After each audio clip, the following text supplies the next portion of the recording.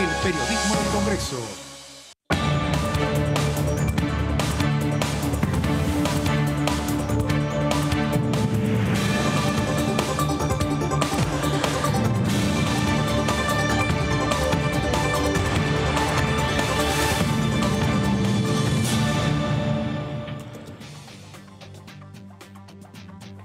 ¿Cómo les va? Muy buenas tardes, esto es DTV Primera Edición, imágenes de esto que pasaba el viernes, reunión en gobierno con el ministro del Interior Eduardo de Pedro y con Sergio Massa, presidente de la Cámara de Diputados, básicamente con toda la oposición, ahí se lo vea Mario Raúl Negri y otros representantes, ¿eh?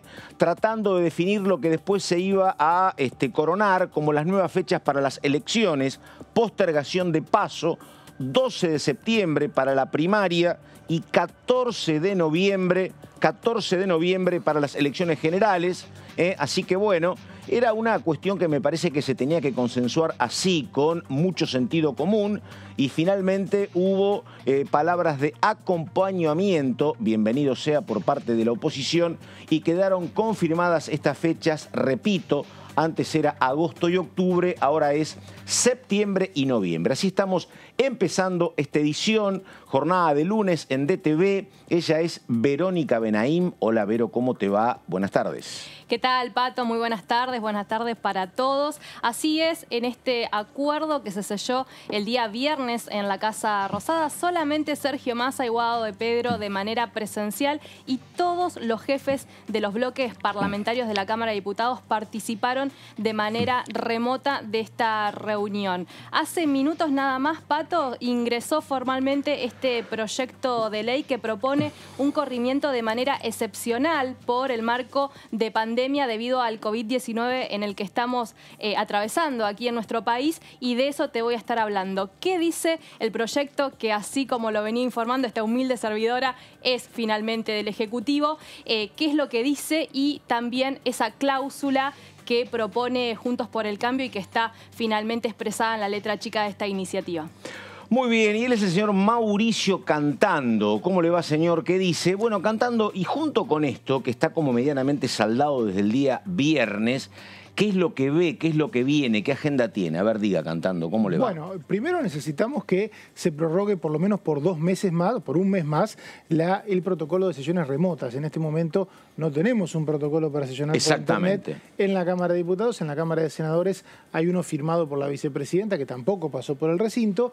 Se me ocurre que en estos días los jefes de bloque y Sergio Massa van a acordar, se habla de una prórroga de un mes en las mismas condiciones. Esto es, sesiones presenciales, salvo para quien pueda demostrar algún riesgo de salud si pisa el recinto, y las comisiones eh, también presenciales, mejor dicho, las comisiones serían virtuales solo si el presidente y el vicepresidente de la comisión así lo deciden. Virtual la firma, claro, siempre se puede hacer una comisión informativa. El vicepresidente casi siempre es de la oposición, por lo tanto estamos hablando de un sistema de acuerdos. En estas condiciones, dicen, se podía prorrogar un mes el protocolo para tratar el tema que recién decía Vero, el nuevo calendario electoral y otros que han quedado pendientes, como la ley de ganancias para las sociedades comerciales. Perfecto, bueno, y después vamos a hablar también de una cuestión que hoy estaba en la tapa de los diarios, me parece como este, ya mucha contundencia, no demasiado entendible de parte de la oposición, indicando que no estaban de acuerdo con algo que todavía no tiene fecha de ingreso a la Cámara de Diputados y que se refiere a un proyecto que sería tratado por el Congreso y que tiene mucho que ver con aquel DNU que generó la concurrencia de la ciudad de Buenos Aires a la Corte Suprema, donde planteaba condicionamientos y hablaba de semáforos a partir de lo que estaba pasando en distintos distritos con la este, situación sanitaria. Bueno, eso tuvo la respuesta que tuvo por parte de la Corte y el gobierno ahora va por un proyecto que habrá que ver qué sucede donde hasta aquí lo que tengo es que no se conoce el proyecto, pero hay como una posición de la oposición, por lo menos de Juntos por el Cambio, no sé el resto, diciendo no estamos de acuerdo porque esto está lindando el tema superpoderes. Sí, Tengo a ver, para ampliar. Ah, muy bien, muy, así me gusta. A ver, ah, primero, primero la dama, porque no, si no, no, se puede empezar esto cantando. A tengo, tengo para ampliarte, Pato, ese proyecto de ley, mientras el día viernes había reunión de Guado de Pedro con Sergio Massa los jefes parlamentarios.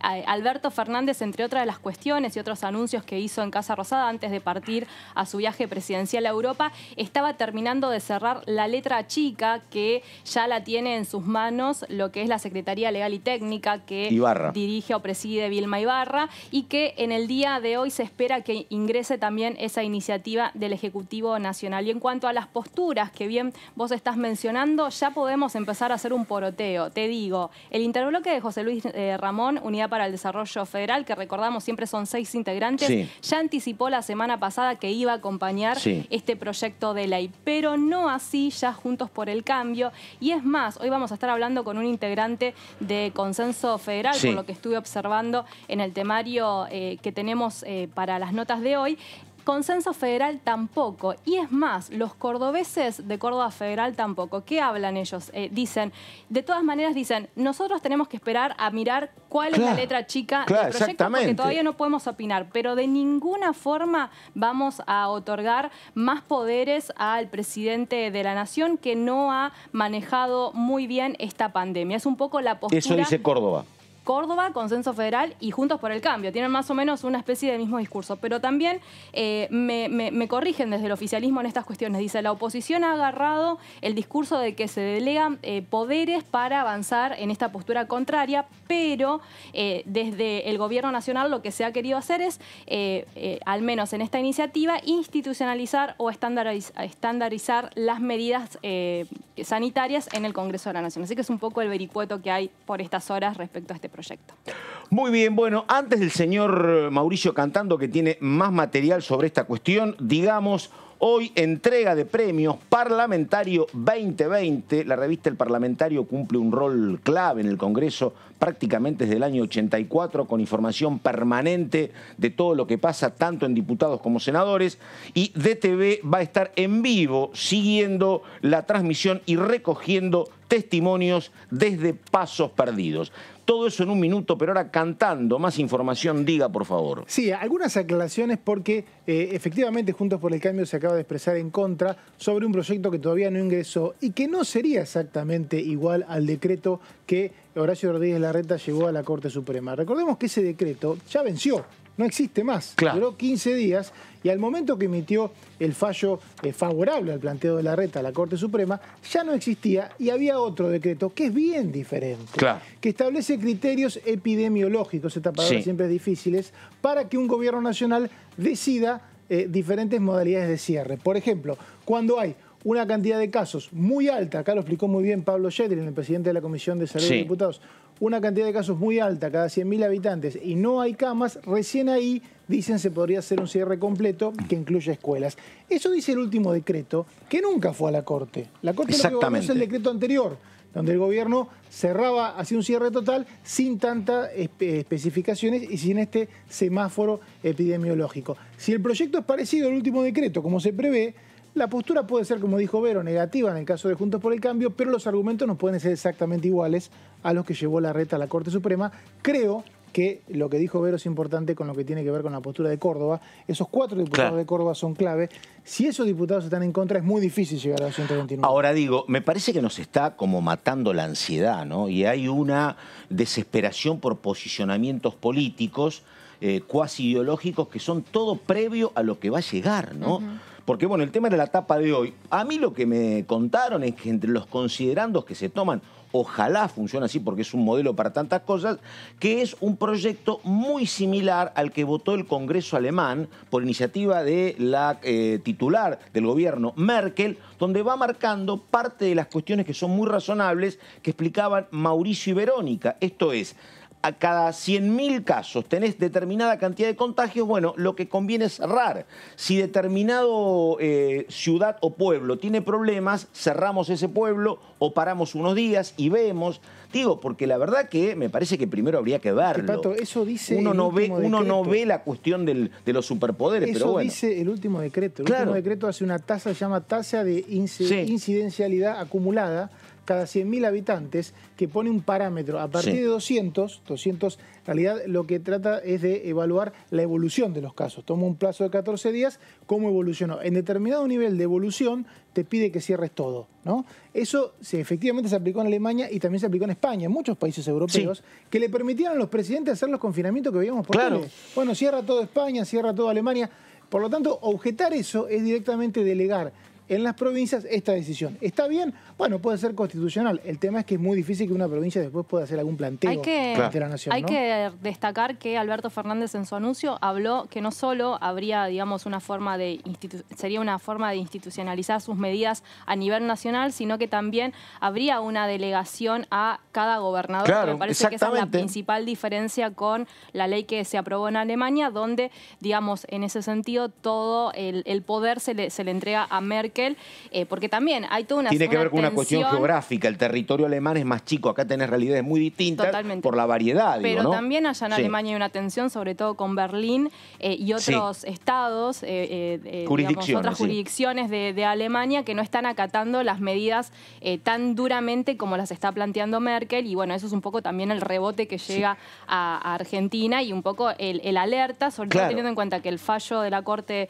Suprema de la Nación habló del respeto de las autonomías. Y Entonces tema- se agarra también un poco de ahí la, la ¿Sabés cuestión. qué pasa? No hay, eh, nadie tiene este, un protocolo permanente. Acabo de hablar con Madrid y me contaban que había como temor y preocupación porque ayer se terminaron las restricciones. Sí. Hay gobierno nuevo, bueno, y ayer no había límites de horario y la verdad que hoy están como muy preocupados desde el punto de vista sanitario porque dicen que ayer como fue una cuestión donde todo el mundo estuvo en la calle y bueno, hay que ver qué es lo que pasa dentro de 15 días, ¿me entendés? Dicen, tal vez dentro de 15 días, si esto, que bueno, era como una exteriorización de mucho tiempo de encierro, ojalá no tengamos casos. Si los casos se multiplican, tendremos que volver Sí. otra vez a medidas de precaución. Es un tema complicado, Incluso te, te agrego que el, justamente el día que se estaban por, por terminar, una hora antes que se terminan la- el toque de queda, Sí. digamos, estas restricciones horarias nocturnas, en, en Madrid estaba hablando con una colega que vive Sí. ahora en España y, me- y nos decía, eh,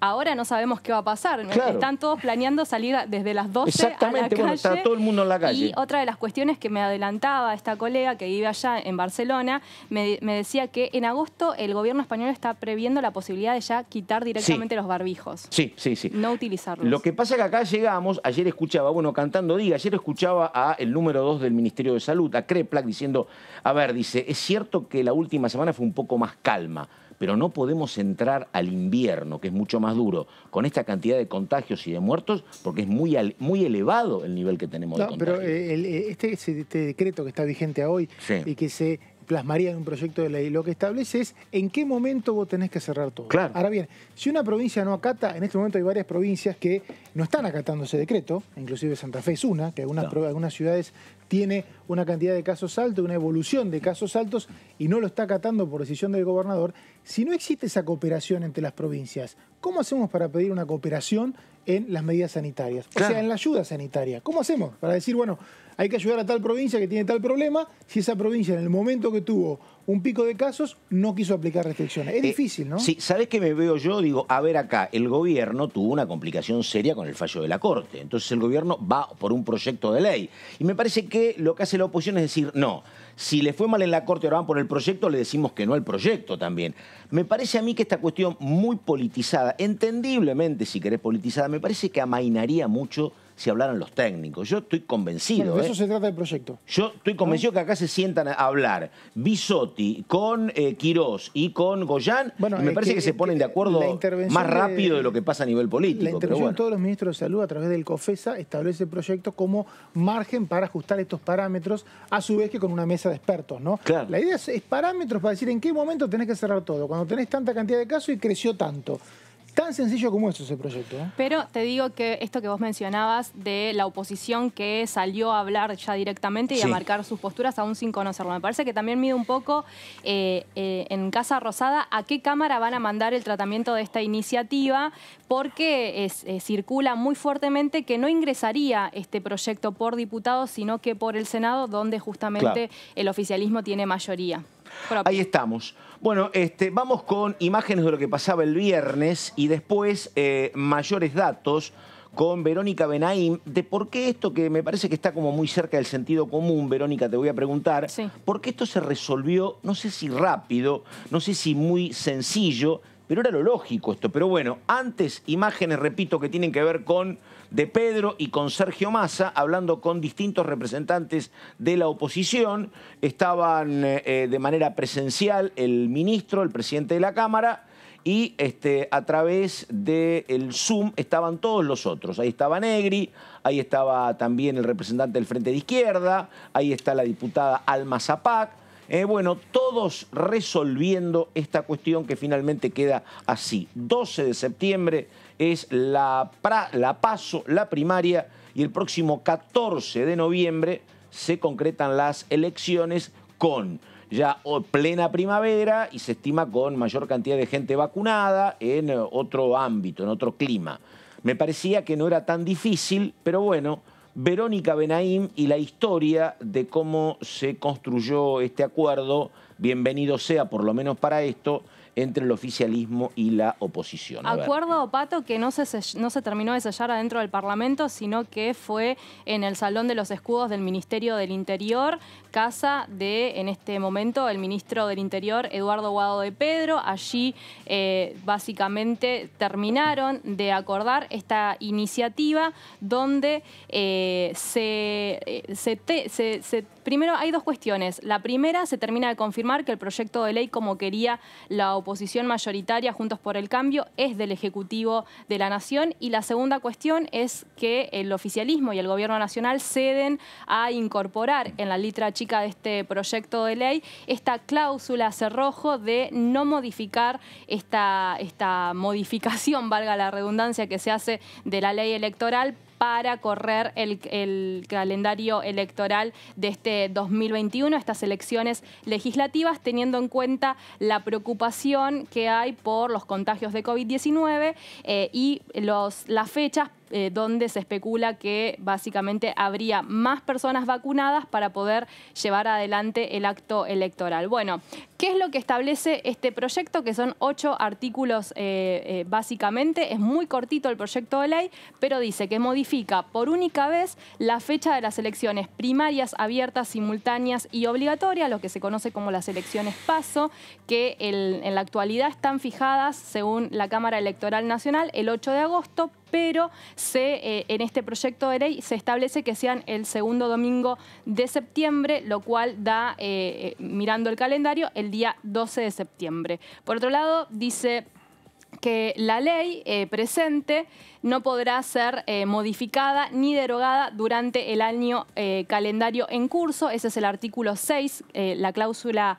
cerrojo que pide justamente Juntos por el Cambio para que este proyecto no sea tocado en el Senado de la Nación y tampoco sea tocado a lo largo de que se vaya transcurriendo llegada la fecha del proceso electoral para que justamente no haya sorpresas de suspensiones de las PASO como querían algunos gobernadores del peronismo y también algunos gobernadores, incluso de Juntos por el Cambio. Recordamos a Morales, a Valdés también apoyando esa idea de suspender las PASO. Modifica también lo que es las elecciones nacionales generales y establece que estas sean la segunda, el segundo domingo del mes de noviembre, que da el 14 de noviembre, y que el registro de los candidatos y pedido de oficializ- oficialización de lista será en eh, 45 días antes de la elección. Así que esto es lo que plantea este proyecto que ingresó hace minutos nada más, alrededor de las 12 del mediodía, a la Cámara de Diputados eh, y que fue, digamos, acordado con todos los presidentes de los bloques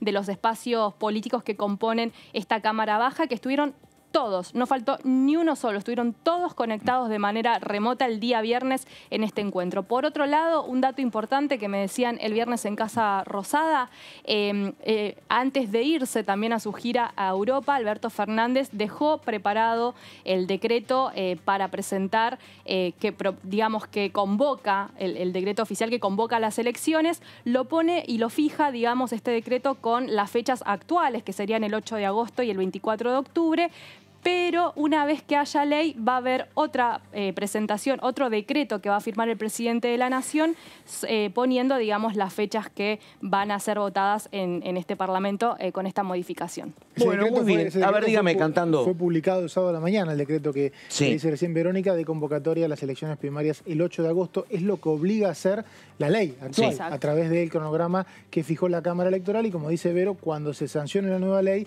se va a publicar otro decreto con las nuevas fechas. Eh, a ver, Pero digo, no eh, es casual sí. que hayamos estado hasta el viernes a la noche con este Zoom porque el sábado vencía el plazo. El sábado Exactamente. tenía que publicarlo. Exactamente. Ahora, cantando eh, una cuestión eh, que tiene que ver con lo que uno veía este, en estos últimos tiempos. Había una posición de máxima de algunos sectores que era que no haya paso. Yo, la verdad, salvo Shedlin y algunos, había gente también de la provincia de Buenos Aires, yo nunca veía demasiado consenso. No, eh, ni dentro del propio bloque y menos enfrente, me parece, Me ¿no? parece que esto es muy bueno para saber, para hacer un mapeo de la política actual, ya sea dentro del gobierno o dentro del oficialismo. Quienes querían suspender la paso y no lo ocultaron fueron los gobernadores. Sí. Los gobernadores que tienen un poder de llegada al, al- al presidente, obviamente, y también tienen una gran cantidad de legisladores, pero no tienen la mayoría del ¿Algún, oficialismo. algún ¿eh? ex frente renovador también, También, decía pero públicamente. los que ¿eh? presentaron Sí. el proyecto de ley Sí. son los gobernadores a través de Pablo Sí, sí, sí, sí. Quienes no querían suspender las primarias y querían que se hicieran en otra fecha son los sectores más vinculados al presidente del bloque, del oficialismo en diputados, que es. Máximo Kirchner, y también a Cambiemos. Y algo interesante que dijimos muchas Y veces... algunos, algunos patrulla perdida como Casareto que dijo, no, yo no quiero suspender porque yo entré este, justamente También. participando en una paso. Pero, pero es importante Sí. algo, eh, Pato, eh, algo que se, se- se perdió de vista, eh, obviamente, del lado de los gobernadores. Esta ley también tiene que ser imitada en la ciudad de Buenos Aires y en la provincia Claro. de Buenos Aires, donde Cambiemos, y específicamente el PRO, maneja, por un lado, toda la legislatura de la ciudad y por otro lado, el Senado de la provincia de Buenos Sí. Aires. O sea que la posibilidad de que se cambien las tres leyes a la vez dependía de el kirchnerismo y el PRO. Sí. ¿no? Eso es un lindo mapeo de lo que es hoy Tal la cual. política, porque a veces pareciera que los gobernadores armaran todas las listas. Eso ya no pasa. No, Eso claro. ya no pasa. Claro. Y ni hablar en ciertos lugares, como el interior de la provincia de Buenos Aires, donde antes había PJ o CR, hoy hay pro y kirchnerismo. Entonces, Exactamente. la negociación empezó siendo, recordemos, con una reunión entre Máximo Kirchner y el jefe del PRO, Cristian Ritondo, y algún intendente de la provincia de Buenos Aires en la Casa Rosada. Esa fue la primera reunión en la que se habló de esta fecha. Después hubo Sí. un par de. O sea que, perdóname, casi, mm, este, porque el tema de la fecha es importante desde lo sanitario, ¿no? Es importante. El propio gobierno te dice, más adelantamos las elecciones, las ponemos más adelante en el mapa, o más las atrasamos, como quieras. Este, bueno, tenemos más supuestamente gente vacunada, es una tranquilidad. Pero además está, la- esa cuestión es importante. Pero lo otro, el que no se suspenda la paso, es otra cuestión clave también, ¿no? Como decís vos. No, no, tal cual. Aparte, Claro. hay sectores interesados en que se haga la paso, que son los que Claro. te nombré, y sectores interesados en que no se haga, Sí. que son los gobernadores, pero es un tema de peso político, ¿no? ¿Quién tiene más peso Sí. político? Y- Y, se notó. Y más te agrego que, bueno, eh, se eh, al menos el, el viernes en Casa Rosada, Sergio Massa eh, nos dijo a los que estábamos cubriendo, los periodistas acreditados, que era muy proba es muy posible que el proyecto se empiece a debatir este miércoles en un ¿Ah, sí? plenario de comisiones. No está todavía la agenda oficial, pero digamos podría ser ya el día miércoles, según lo que dijo el titular de la Cámara de Diputados, encabezarían o, o tratarían esta iniciativa, asuntos constitucionales y legislación general, así que ya podría haber. Y te doy otro dato que también fue consultado el día viernes. En este plenario, que en algún momento se esperaba la participación de gobernadores, no van a estar los gobernadores invitados de manera informativa porque lo que sostiene el oficialismo es ya eh, los gobernadores accedieron y marcaron sus posturas a través de los legisladores, sobre claro. todo los partidos provinciales. Eh, cantando te pregunto, decime, eh, para la reta, ¿qué era mejor? ¿Que hubiese este paso o que no hubiese paso? ¿Tenés No. alguna información? Me- si él es jefe de gobierno, a lo mejor compartí el criterio que tenían los gobernadores de Tucumano de Chaco, por ver, él, ejemplo. es jefe, él es jefe de gobierno, pero también es uno de los líderes del PRO. Sí. Tiene un lío bárbaro en Ah, la provincia de Buenos por- Aires. claro. Enorme, donde no tienen candidato. Piensen No. que el cronograma que acaba de escribir Verónica les permite presentar candidaturas el 26 de julio. Con el cronograma que había, el actual, el que todavía no se modificó, las tenían que presentar en un mes y medio. Mm. Decime quién va a ser candidato en- en- del PRO y de Cambiemos en la provincia de Buenos Aires. Bueno, te cuento una cortita antes del diputado Ramón. Yo hablé, este, el sábado hablé con Jorge Macri, Sí. que básicamente lo que quería decir como mensaje, Macri era mi candidato, nuestra candidata es Vidal. Mm. Pero Vidal A mí lo que me dicen es que Vidal se, se niega sistemáticamente. En Será caso, una etapa ciudad. de convencimiento. Claro. Y Exactamente. y apareció el, ami- el amigo Emilio Monzó también con Sin fuerza. primarias esa situación no se resuelve. La reta también es parte de ese problema. Sí, Claro. y también me dijo, también me dijo otra cosa, yo le pregunté por Santilli, y dice, mire, sería mejor que la gente que está en funciones siga en funciones. ¿Viste? Así que bueno. Ahí estamos. Este, pero vamos a saludar a el diputado José Luis Ramón. A mí me gusta hablar con Ramón porque me sorprende, ¿no? Este, a veces.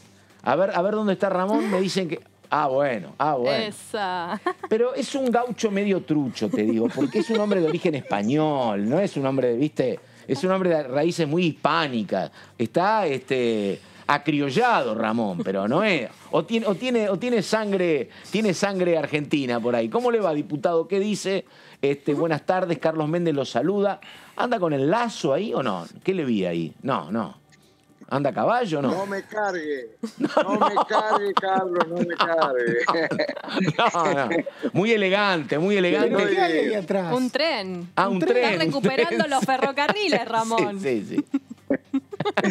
Hay que pelear por los ferrocarriles para que vuelvan a llegar al interior del Es- país. sí, Es totalmente. tipo- tienen- tienen un buen tren en Mendoza, ¿no? Hay un tren inaugurado hace 5 o 6 años muy, muy lindo, ¿no?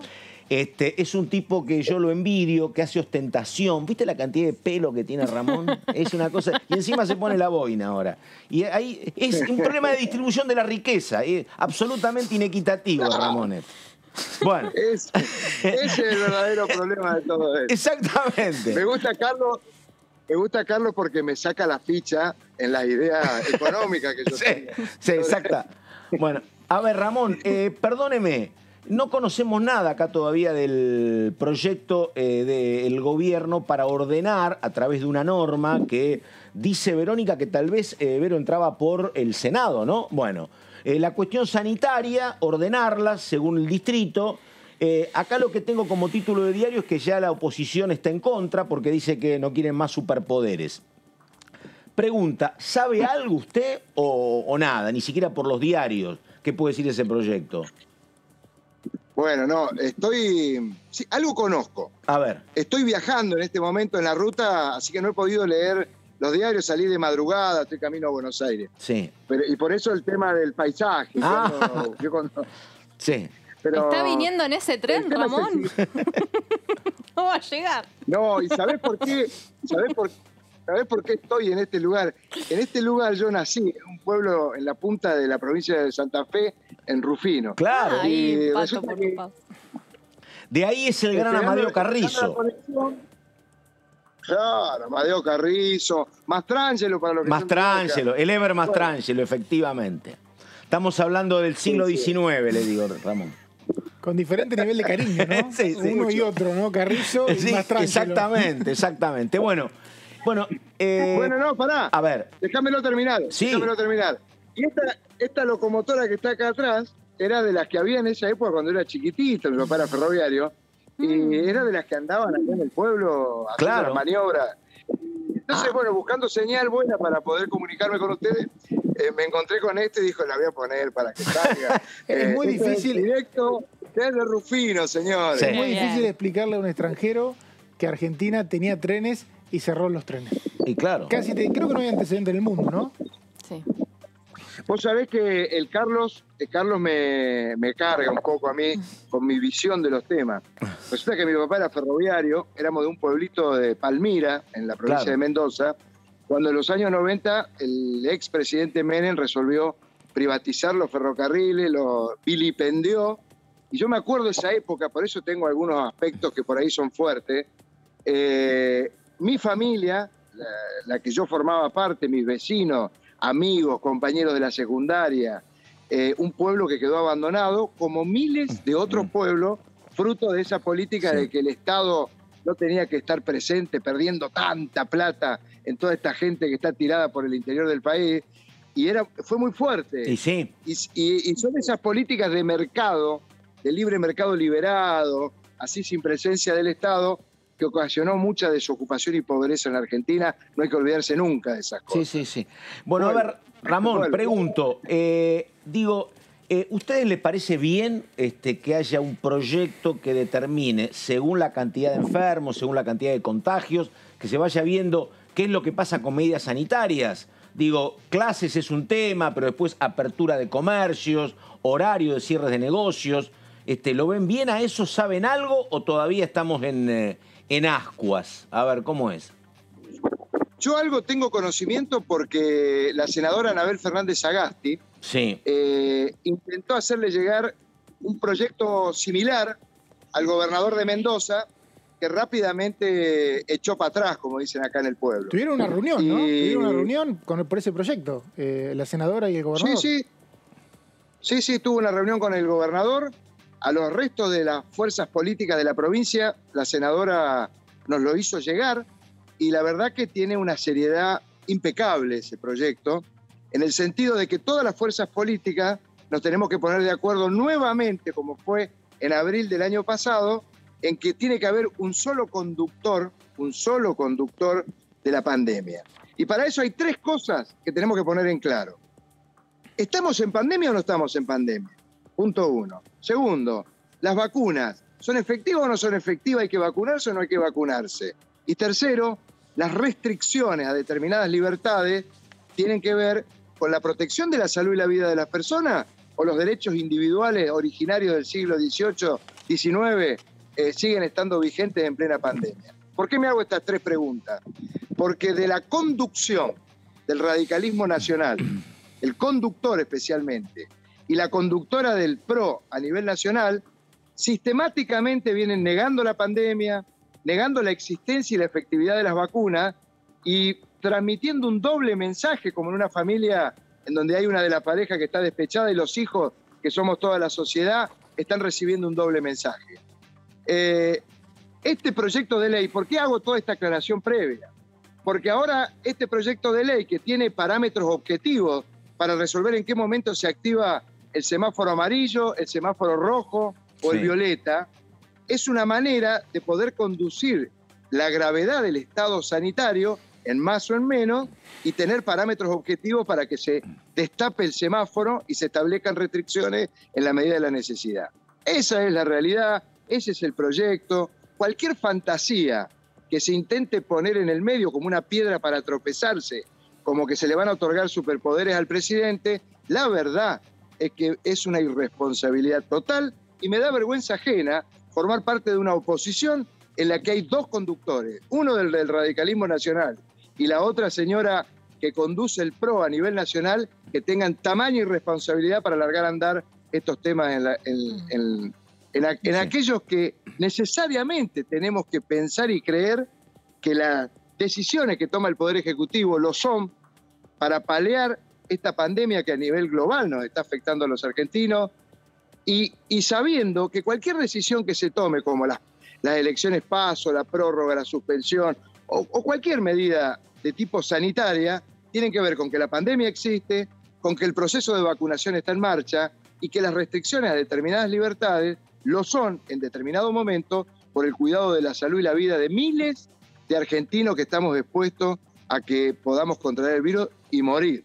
Entonces acá estamos con algo muy serio, no se puede jugar con esto. Claro. Ramón, eh, le consulto por la reunión del viernes. eh, ¿Se siente parte del acuerdo que se selló entre Casa Rosada y los jefes opositores? Se lo consulto porque algunos deslizaron y dicen, es más un acuerdo siempre entre los grandes, juntos por el cambio, el frente de todos, y nosotros los minoritarios siempre quedamos en el medio de todas estas cuestiones. Verónica me conoce bastante y sabe que he pataleado con el tema del acuerdo. Y- pero ¿saben cuál es el punto, Verónica? Sí, ¿cuál? El punto es el siguiente, no hay que, eh, es decir, como, como parte de la minoría que formó parte de la Cámara, uno tiene un, un espacio de representación política y actuamos en consecuencia y está bien. Y en esto de las PASO es grosso el tema, porque como se trata de modificar un calendario electoral en pleno proceso, es muy importante que todas las fuerzas políticas nos pongamos de acuerdo y encontremos un punto de encuentro. Pero la conducción, y vuelvo a repetir esto del radicalismo nacional y, de la, y del PRO a nivel nacional, siguen metiendo palos en la rueda. En el artículo 6 del proyecto de ley que envió esta mañana el Poder Ejecutivo, le ponen un cerrojo y dice, mire, vaya como fuere la pandemia, eh, escúchenlo bien, Sí. vaya como fuere la pandemia, eh, esto no se modifica. Es decir, que si se está muriendo gente, si pasa lo que pasare, nosotros queremos que las elecciones se hagan sí o sí en este plazo que se ha fijado en este proyecto. Bueno, así va a ocurrir y todos encontramos eh, un punto de encuentro, pero hay que ser claro, eh, necesitamos ser responsables y nuestra, eh, nuestra objeción, más allá de que apoyamos que esto se resuelva de esta manera, tiene que haber un informe sobre la marcha de la pandemia del Ministerio de Salud. Diputado, eh, ¿cómo está hoy la situación sanitaria de Mendoza, que es una de las provincias que no quiso cerrar eh, las escuelas? Y tengo entendido que la ocupación de camas es bastante alta. ¿Qué información tiene? toda, toda la información porque estoy muy presente. Durante el fin de semana eh, ah, es muy fuerte, pero vi, vi cerradas una veintena de bolsas negras con personas que forman parte de familias mendocinas que salieron eh, eh, fallecidas con motivo del coronavirus. ¿Dónde vio? Yo ¿En con qué- eso te estoy diciendo una cosa, yo soy un tipo bastante positivo, Sí. tengo una manera de ver la vida que la proyecto hacia el futuro. Pero cuando veo, y, y al gobernador de Mendoza le he manifestado en reiteradas oportunidades el apoyo total de nuestra fuerza política para tomar todas las medidas que necesite para cuidar la salud y la vida de miles de mendocinos. Bueno, lamentablemente el gobernador Suárez, en sociedad con su conductor a nivel nacional y el distrito de la capital federal con el señor Rodríguez Larreta, están intentando sentirse superhombre, diciendo que la presencialidad en las escuelas, negando la existencia de un decreto que tiene objetivos científicos en relación a la, a la existencia de la pandemia, a la capacidad del Estado de poder garantizar la prestación del servicio de salud. Es decir, ser un gobernador que niega la existencia de 20 muertos promedio diarios en los últimos 15 días es una cuestión que me preocupa y mucho. Sobre todo cuando las unidades de terapia intensiva están por encima del 90% de ocupación y si alguien tiene la desgracia de tener una obra social o medicina prepaga, la medicina privada en la provincia de Mendoza tiene colapsado el sistema de recepción de pacientes para ser atendidos por coronavirus. En Mendoza es delicado, los medios de comunicación no lo están mostrando, pero cuando uno ve esa situación real de fallecimientos en una provincia como la que yo provengo, eh, me preocupa de sobremanera. Eh, diputado- Lamento Sí. la del gobernador Suárez. Eh, diputado, tiene que ver con eso la pregunta, porque ayer dolorosamente se comunicó, después de una larga pelea, la muerte de Miguel Liftich, el ingeniero, ex gobernador de Santa Fe, socialista, un tipo muy respetado por todos, muy querido. Y le pregunto, ¿en algún momento uno supo de que estaba también tramitando la enfermedad Cornejo? Pero la verdad que ha habido poca información. ¿Esto qué, qué, informa- qué- qué dato tiene? ¿Esto significa que ha transcurrido la enfermedad sin mayores problemas en la casa? ¿Tiene alguna información o, o no, Ramón? Sí, sí, la información. En primer lugar, yo quiero aprovechar este, un segundito de transmitir mis condolencias a la familia Sí. de Miguel Lifchif, a, su- a sus amigos y a las personas de su confianza. Tuve la oportunidad de participar con él codo a codo en la campaña electoral 2019. eh, eh, bueno, la campaña Sí. electoral 2019. Sí, sí, sí. Y lamento porque una, eh, perdimos una persona en primer lugar y un dirigente político de una calidad humana este, inmejorable. Así que vaya mis respetos a su familia y afectos.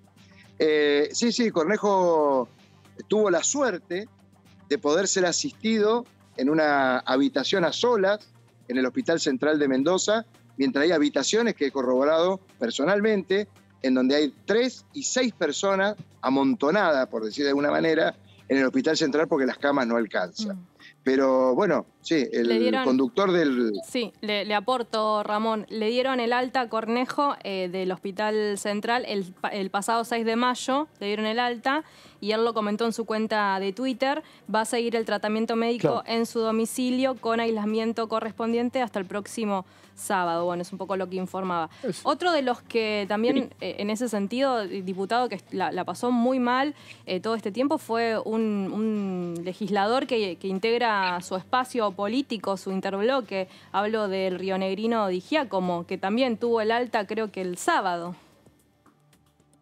Exactamente, le dieron el alta a Luis, pero eh, con una diferencia enorme, una altura, este, con una capacidad de encarar la, patología que lo afectó tremendo y fue asistido en Río Negro también por el sistema, eh, no, en el caso de Luis, en el sistema privado de, salud.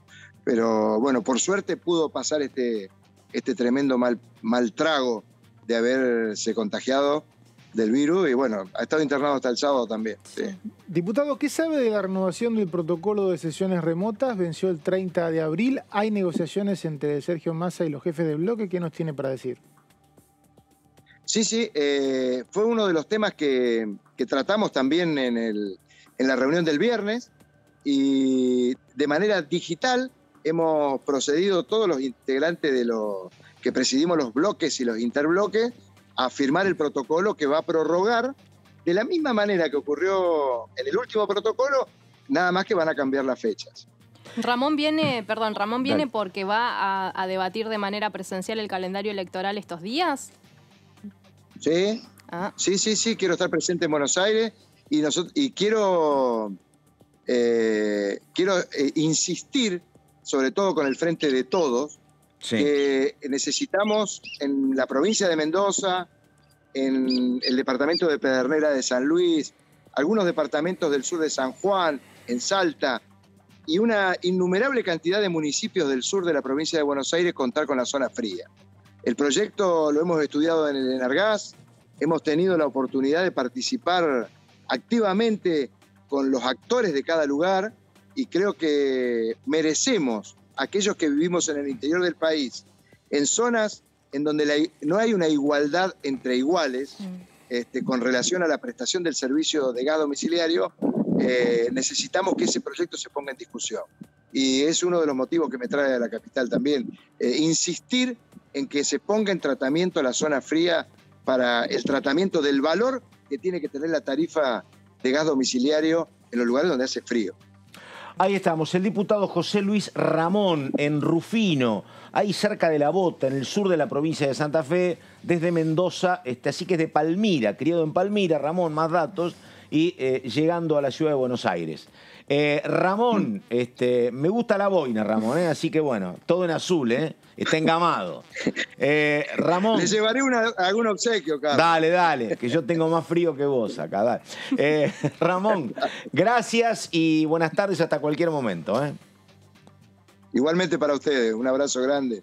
Ahí estamos. Bueno, les recordamos antes de la segunda nota, una nota importante, la que viene eh, dentro de un rato, sí, porque son apenas tres horas, a las 17 en punto, transmisión por parte de DTV de todo lo que tiene que ver con la entrega de los premios parlamentarios 2020, recordamos. ¿eh? Así que bueno, vamos a estar este, cubriendo todo lo que pasa y además recibiendo DTV a ver si hay algún premio porque está nominado este canal. Ah, lo ganó, lo ganó, ¿ves? A la mejor cobertura televisiva 2020 en el ámbito Congreso de la Nación. Así que repasamos. Primero, a las 17 transmisión de la entrega de premios, donde este canal va a ser premiado, repetimos, este, como la mejor cobertura televisiva de este año. Así que bueno, Ahora, Maya, nuestra compañera, en el despacho de qué diputado. Maya, ¿cómo te va? Buenas tardes, te escuchamos. Hola Pato, buenas tardes. ¿Cómo están? Vero, Mauricio. Les cuento que en este momento estamos en el despacho del diputado Topo Rodríguez de Consenso Federal y quería comentar algo porque eh, se aprobó la semana pasada la prórroga por dos meses de la ley de biocombustible que vencía el 12 de mayo y ahora pasaría a vencer el 12 de julio. Mientras se debate sobre un nuevo marco regulatorio sobre este sector. Quería preguntarle entonces al Topo Rodríguez, ¿cómo estás? que es uno de los impulsores también de la prórroga junto con Consenso Federal, ¿cómo piensa que se dará el debate sobre un nuevo marco regulatorio? Gracias, buen día, buen día. Buen día, ¿cómo le va, diputado? ¿Qué dice? No, es, es un parchecito, es un parchecito que no sirve para nada. Imagínense que el sistema productivo de biocombustible en la Argentina necesita una certeza. El Senado aprobó una prórroga de cuatro años. Ahora el Poder Ejecutivo da una prórroga de 60 días. Realmente es un parchecito que no sirve para nada. Sí creo que para, para, cumplir con lo que son los reglamentos del funcionamiento del Congreso, eh, en ese periodo en el que rija la prórroga, que es a partir del 12 de mayo al 12 de julio, deberíamos tratar eh, primero el proyecto que viene del Senado en revisión a la Cámara de Diputados. El 30 de octubre el Senado de la Nación aprobó por unanimidad la prórroga por cuatro años del régimen de biocombustibles. Deberíamos darle prioridad a eso, es lo que corresponde, y aprobarlo de inmediato. Una vez que lo aprobemos, sí dedicarnos a tener una nueva ley que sea más moderna, pero tiene que ser mejor, no peor que la vigente. Y ahí hay un muy buen proyecto. Yo les diría que es tan bueno que es modelo en el mundo. El proyecto que el día 19 de noviembre presentó el diputado nacional Carlos Gutiérrez, que propone, realmente en un trabajo muy serio, eh, un nuevo sistema para el desarrollo de biocombustible que es modelo en la Argentina y tiene nada menos que el impulso de la aprobación de todas las provincias productoras de biocombustibles y del sector productivo, además de técnicos y profesionales. A eso deberíamos darle prioridad. Ojalá que esos 60 días, que son un parchecito, nos alcance para discutir eso que es importante. Eh, dale, dale, le pregunta. Sí, diputado Mauricio Cantando lo saluda. ¿Cómo le va? ¿Cómo le va? ¿Bien? Bien, diputado, quiero desandarme de algo. Hoy se prorrogó, como bien decía usted, 60 días la actual ley de biocombustibles, la que vencía el 12 de mayo. Al prorrogarse la ley sin las extensiones que tuvo la ley, ¿las cuotas que rigen estos 60 días son del proyecto original? O sea, 5% biodiesel y 5 etanol y no 10 y 10 eh, o 10 y 12 como es actualmente. Esto le quería preguntar primero. O la resolución de energía. Eso debería, debería clarificarlo la autoridad de aplicación, que es el secretario de Energía. En principio no hay ningún motivo como para que baje lo que hoy está rigiendo, porque si la dinámica de la ley llevó a que 15 años después estuviese en 10 y en 12, mal haría el Poder Ejecutivo, por 60 días, volver a lo que había hace 15 años atrás. Pero la definición al respecto debe darla la autoridad de aplicación. Ah, ahora, el proyecto, justamente el decreto que se publica hoy, aclara que eh, el decreto pierde vigencia si se aprueba una ley. El proyecto que está vigente de, por parte de los diputados de Frente de Todos establece una baja de la cuota del biodiesel. ¿Cree que puede prosperar? El proyecto, el decreto dice eh, textualmente que rige hasta el 12 de mayo o hasta que se apruebe un nuevo régimen, cualquiera de los dos hechos que primero suceda. Claramente, el 12 de julio, le no es el proyecto nuevo eh, claro, 12 de julio. Eh, lo que hay que discutir no es primero el proyecto nuevito, este que entró hace unos días. Hay que discutir la prórroga que aprobó el Senado y a mí me parece que también es muy importante discutir el proyecto que presentó Carlos Gutiérrez. Hay un tercer proyecto que es el de un grupo de diputados del oficialismo que obviamente también tiene eh, margen y será discutido también, pero hay que discutir los tres o en todo caso dos. Tengo la impresión de que ese último proyecto, presentado hace muy poquito tiempo, no tiene el consenso de todos los diputados, ni siquiera del oficialismo, y usted sabe y yo sé que públicamente muchos eh, senadores del propio oficialismo no lo apoyan. ¿Para qué vamos a perder tiempo en un proyecto que no tiene tanto consenso? Vayamos al grano a aprobar algunos que tengan mucho más fundamento y consenso. Vero. Eh, diputado, ¿cómo le va? Verónica Benaín, eh, buenas tardes. ¿Cómo le va? Bien, estaba, estaba tratando de, repasar el, decreto que se aprobó hoy en el boletín oficial para ver si, si hablaba algo de los cortes, si estaban, digamos, se prolongaban los cortes vigentes por la resolución de la Secretaría de Energía, que también no, es muy genérico, es muy genérico. Claro, es muy, sí, estaba buscando como eso. Pero no dice extensiones, eso es lo que me sorprendió, que podría haber dicho ley y sus respectivas extensiones. pero ahí la, autoridad de aplicación lo puede, lo puede aclarar. No tiene mucho sentido que por 60 días se vuelva atrás con los cortes que estaban vigentes hasta ahora. Pero bueno, nuevamente creo que la autoridad de aplicación podrá aclarar. Totalmente. Bueno, em, pasando a, otro de los temas, bueno, ¿cómo vio la reunión que se llevó adelante el día viernes en Casa Rosada? Eh, tengo entendido que había una propuesta de parte de, su espacio político eh, de, insistir en incorporar también que quede fijado en, la ley eh, la utilización de la boleta única de papel de cara a las elecciones del 2023. ¿Cómo, ¿Cómo fue esto? ¿Lo pudo decir? ¿Qué va a pasar con esta situación en particular? La reunión fue una reunión muy amable, muy buena, que ratifica el buen momento que existe entre el kirchnerismo y el macrismo. Es decir, ese entendimiento que empezó el 30 de marzo para cambiar las fechas electorales se está concretando ahora y hace eh, unas horas nada más recibimos un proyecto de ley. Lo primero que quiero decirle es que en esa reunión, igual que en el proyecto de ley que llegó hace un rato, no hay ningún fundamento serio, no hay ningún fundamento serio que avale pasar las elecciones del 8 de agosto al 12 de septiembre, las primarias. Ninguno.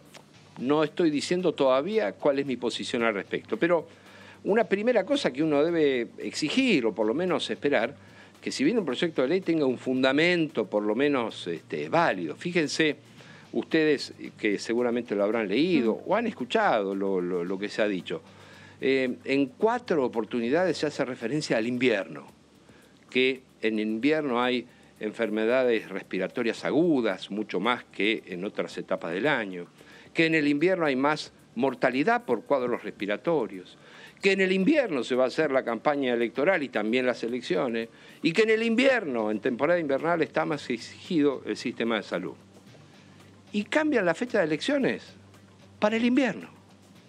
El segundo domingo de septiembre es el invierno. Todavía es invierno. Yo no digo, yo, yo no digo, yo no digo que nos digan toda la verdad, pero por lo menos que no nos mientan. A ver, si el gobierno necesita por algún motivo extra invernal cambiar la fecha de elecciones, tiene que ponerlo ahí en el fundamento. Y si no, que no hable del invierno. Miren, yo les recomiendo que ustedes vean lo que el propio canal Diputados TV tiene registrado, que es la exposición de la ministra de Salud de la Nación, Carla Bisotti, el 6 de abril en la Comisión de Acción Social y Salud. Consultada la ministra acerca de si se puede prever la evolución de la pandemia para tomar decisiones respecto de las fechas electorales, dijo, con sumo rigor profesional y enorme honestidad política, que no hay ninguna manera de proyectar cuál va a ser la situación y por lo tanto cualquier decisión de cambio de fecha es una decisión política y no profesional. Punto y aparte. a mí me parece que hay ya acuerdo entre el kirchnerismo, hay ya acuerdo entre el kirchnerismo y el macrismo para cambiar la fecha, la cambiarán, pero no me vengan a mí con el invierno porque si cambian la fecha de invierno a invierno, no hay fundamento. Lo que, dijo, lo que dijo el ministro del Interior, Eduardo de Pedro, cuando vino a la Cámara de Diputados, es que específicamente en agosto es el pico de las internaciones por bronquiolitis y que se juntan con el COVID. Y que en septiembre va a haber menos internaciones por bronquiolitis y obviamente, como usted bien dice, no se puede prever qué va a pasar con el COVID, pero que se junten las dos cosas en agosto era preocupante. Eso es lo que dijo, ¿no? Sí. Bien, bien. Este, yo le agradezco que usted recuerde con tanta precisión lo que dijo y que no ha escrito en los fundamentos del proyecto de ley. Y le quedará claro por qué no lo ha escrito. Porque cambian, como usted bien dice, de agosto a septiembre. Entre agosto y el 12 de septiembre hay 12 días de diferencia. Permítame restarle uno porque el día 12 de la elección hay 11 días de diferencia. Mire. Pero la elección estaba convocada el 8, este, no, al 31 de agosto. ¿Eh? Usted acaba de decir que durante agosto hay más muertes. Es lo mismo que dijo de Pedro y lo felicito por la fidelidad en reproducir su palabra. Yo le digo que agosto, como usted bien dice y dice de Pedro también, termina el 31. Entre el 1 de septiembre y el 11 de agosto hay 11 o 10 días, si me apuro. Entonces yo, sinceramente, no me presentaría frente a ustedes a dar una lección acerca de la ópera. Del mismo modo que yo no voy a hablar de ópera, le pido con todo respeto y, con una mano en el corazón que el ministro del Interior no hable de salud. Eh, que se remita a lo que dijo la, ministra de Salud. La ministra de Salud dijo, por si ustedes no lo escucharon Diputados TV, que no hay ninguna forma de, eh, de, proyectarlo. Entonces, terminemos con esa polémica. Este, yo lo entiendo y lo respeto, pero está mal lo que hicieron y yo este, tengo la obligación de manifestarlo. Diputado, una consulta, porque todavía no llegó el proyecto, pero todo indica que lo va a hacer en las próximas horas, donde el gobierno intenta aprobar una norma este, que reemplace ese DNU que fue a la Corte y que la Corte eh, no respaldó en materia de que no debería haber clases presenciales en la ciudad de Buenos Aires. Le pregunto, este, todavía este, no hay letra chica, ni siquiera letra grande. Pero eh, ustedes, digo, ¿podrían acompañar eso o no? ¿O quieren ver el proyecto? ¿Cómo es el estado de situación? Siempre, en todos los casos, hay que ver el proyecto. Claro. Pero yo me tomo la licencia de opinar sobre la base de lo que usted me está planteando. A ver. Si es sobre la base de lo que usted me está planteando, el gobierno estaría confundido como novio de melliza. Y yo no creo que el presidente envíe al Congreso un proyecto de ley en contra de la Constitución. Yo me pregunto, ¿qué facultad, instrumento, competencia no tiene el régimen presidencialista en la Argentina para trabajar como tiene que trabajar y ha venido trabajando en todos los desafíos que impone la pandemia? No tiene los que la Constitución no le da. Entonces, dos cosas.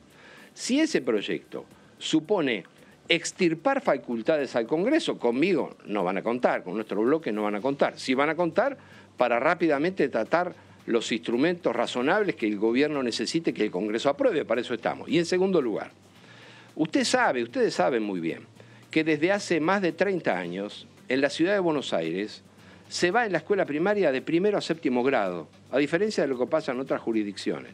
¿Por qué? Porque la ciudad nunca adhirió a la, ley federal, a la vieja ley federal de educación. Ustedes eran muy chicos, usted también, Pato, era muy chico, pero déjeme que le cuente. Que en el año, 1990, en el año 1995, el Gobierno Nacional logró aprobar en el Congreso de la Nación la Ley Nacional de Tránsito, una nueva Ley Nacional de Tránsito. Pero durante años, la provincia de Buenos Aires, la provincia de Córdoba y Mendoza no adhirieron. Claro. Es decir, que durante varios años más del 50% de los automovilistas circulaban por las rutas argentinas por fuera de la Ley Nacional de Tránsito. ¿Por qué? Porque son materias no delegadas de las provincias a la nación. Solo empiezan a ser efectivas cuando las provincias adhieren. Por lo tanto, estoy seguro que siendo profesor de Derecho, el presidente no enviaría jamás un proyecto que esté en contra de la Constitución o que crea que la ley le va a dar esa competencia. y, finalmente, perdóneme no una ley de orden público, Mire, que se aprueban todo el tiempo acá, por supuesto, de, aplicación puede, directa. Puede haber leyes de orden público, puede haber leyes de orden público que nunca vayan en contra de la Constitución, salvo y esa sería una alternativa, que lo único que el gobierno quiera es generar la riña para que después la Corte la declare inconstitucional y pelearse con el macrismo en este jueguito que han inventado de pelearse por cualquier cosa. Pero yo sé cuál es el camino. Sí. Y me parece que podría hacerse de manera virtuosa y rápida. El pacto federal. Un pacto federal. Cada vez que hay que cambiar un tributo con la concurrencia de la nación, pero que necesita el apoyo de las provincias, se, se hacen pactos federales. Pues bien, hay que hacer un pacto federal de emergencia por el COVID que incluya las materias que transitoriamente las provincias estén dispuestos a eh, consensuar consensuar con el gobierno nacional. En ese caso el Congreso lo que haría es ratificar Lo que, lo que haría el Congreso es ratificar o convalidar ese pacto federal que después adherirían las provincias. Ahora, si ese proyecto tiene aspectos que las provincias, porque la Constitución se los atribuye, son competencia propia, o extirpar facultades del Congreso, perderíamos tiempo. Yo no creo que, contenga nada de eso y ojalá que podamos tratar un proyecto razonable muy rápidamente y aprobarlo. Eh, diputado, eh, una pregunta política, pero bueno, este, el jefe de su espacio es Roberto Labaña y Roberto Labaña es economista. Eh, un gran debate dentro del propio gobierno es qué hacemos con los subsidios y el ministro Guzmán el viernes volvió a insistir con que este, hay sectores súper ricos que, a los cuales correspondería incrementarle las tarifas. Y este, bueno, está pendiente la cuestión de la segmentación. ¿Usted qué, opina qué, qué opina el espacio suyo sobre el tema? ¿Tiene que haber menos subsidios? ¿Tiene que haber segmentación? ¿Es cierto que se subsidia a gente que podría pagar otra tarifa eléctrica? ¿Cómo lo ven al punto? La Cámpora y Guzmán están discutiendo de un tema que no es el sustantivo ni el principal. Este gobierno está prácticamente al borde de un camino irreversible de colapso porque han generado una bola gigante de intereses que no pueden cumplir. 20 mil millones de dólares en pago de intereses en el último año y un mes, en los últimos 13, 14 meses. Ese es realmente el problema que lamentablemente tampoco discute la, oposición de Cambiemos. Están todos discutiendo y ahora son todos este, eh, hinchas de Guzmán desde Carrió hasta Cambiemos y el sector de, la comunicación no oficialista este, son hinchas de Guzmán. Mm, y, el debate es si subsidio sí y subsidio no. No es el debate de la Argentina. El debate profundo es la irresponsabilidad de esta política económica que terminó, que empezó entregándole 1.500 millones de dólares a los especuladores financieros y hoy, aunque no está en el tapete de la discusión, tiene creada una bola de intereses en dólares que no va a poder pagar y nos conduce a un colapso. Junto con eso, hay que trabajar en sistema de segmentación, por supuesto. Mire, nosotros lo estamos haciendo. Usted hace un rato lo, escuchaba, ustedes lo escuchaban, del diputado José Luis Ramón. Sí. Nosotros hemos diseñado un proyecto y estamos eh, concurriendo a unificar nuestras posiciones, el, proyecto de Ramón, el proyecto de Liliana Juin y el que yo mismo he presentado, para que en las zonas frías de la Argentina haya una segmentación de subsidios a familias que tienen que pagar mucho más básicamente porque el invierno les exige un uso mucho más intensivo de ese tipo de servicios. Y claro que hay instrumentos para hacerlo, yo creo que, los hay. Ahora, eh, esta discusión entre Guzmán y la Cámpora, entre el kirchnerismo y Cambiemos, eh, es una discusión que no va al hueso del problema que hoy tiene la Argentina en términos económicos. El problema casi eh, irresoluble si no se toman decisiones rápidas es que la economía argentina va a estar arrastrada por una bola gigante de intereses en dólares que ya venimos pagando y que no le da capacidad ni margen de maniobra al gobierno para atender los otros temas que son muy urgentes. Diputado, ¿puede ampliar un poco eso que está diciendo? Porque me, imagino a Guzmán escuchándolo y diciéndole, yo resté tres puntos del PBI con la negociación que hice con los acreedores y estoy tratando de patear los vencimientos del Fondo Monetario que eran de 20 a 30 mil millones de dólares por año para el resto del mandato. ¿A qué se refiere usted con la bola de intereses de, la nieve, de la bola de nieve de intereses? Disculpe. En primer lugar, estoy seguro que el eh, ministro Guzmán tiene otras cosas más importantes que hacer hoy en Europa que estar escuchando lo que un ignoto diputado de apellido Rodríguez está comentando, no por la importancia que ustedes tienen, sino por la que yo tengo. Apodado Topo. Mire, cuando quiera podemos verlo, cuando quiera podemos ver los números oficiales que constituyen 12 mil millones de dólares en pases y lelix y más 8 mil millones de dólares de pagos intrasector público, todo en términos de intereses. Lo podemos ver con los datos ¿A pagar en dólares o a pagar en pesos? eso. ¿A pagar en, dólares o a pagar en pesos? Dólares, dólares. Mire, yo se lo estoy dando dolarizado. ¿sí? a pagar en dólares o a pagar en pesos? pesos. No es lo mismo, ¿eh?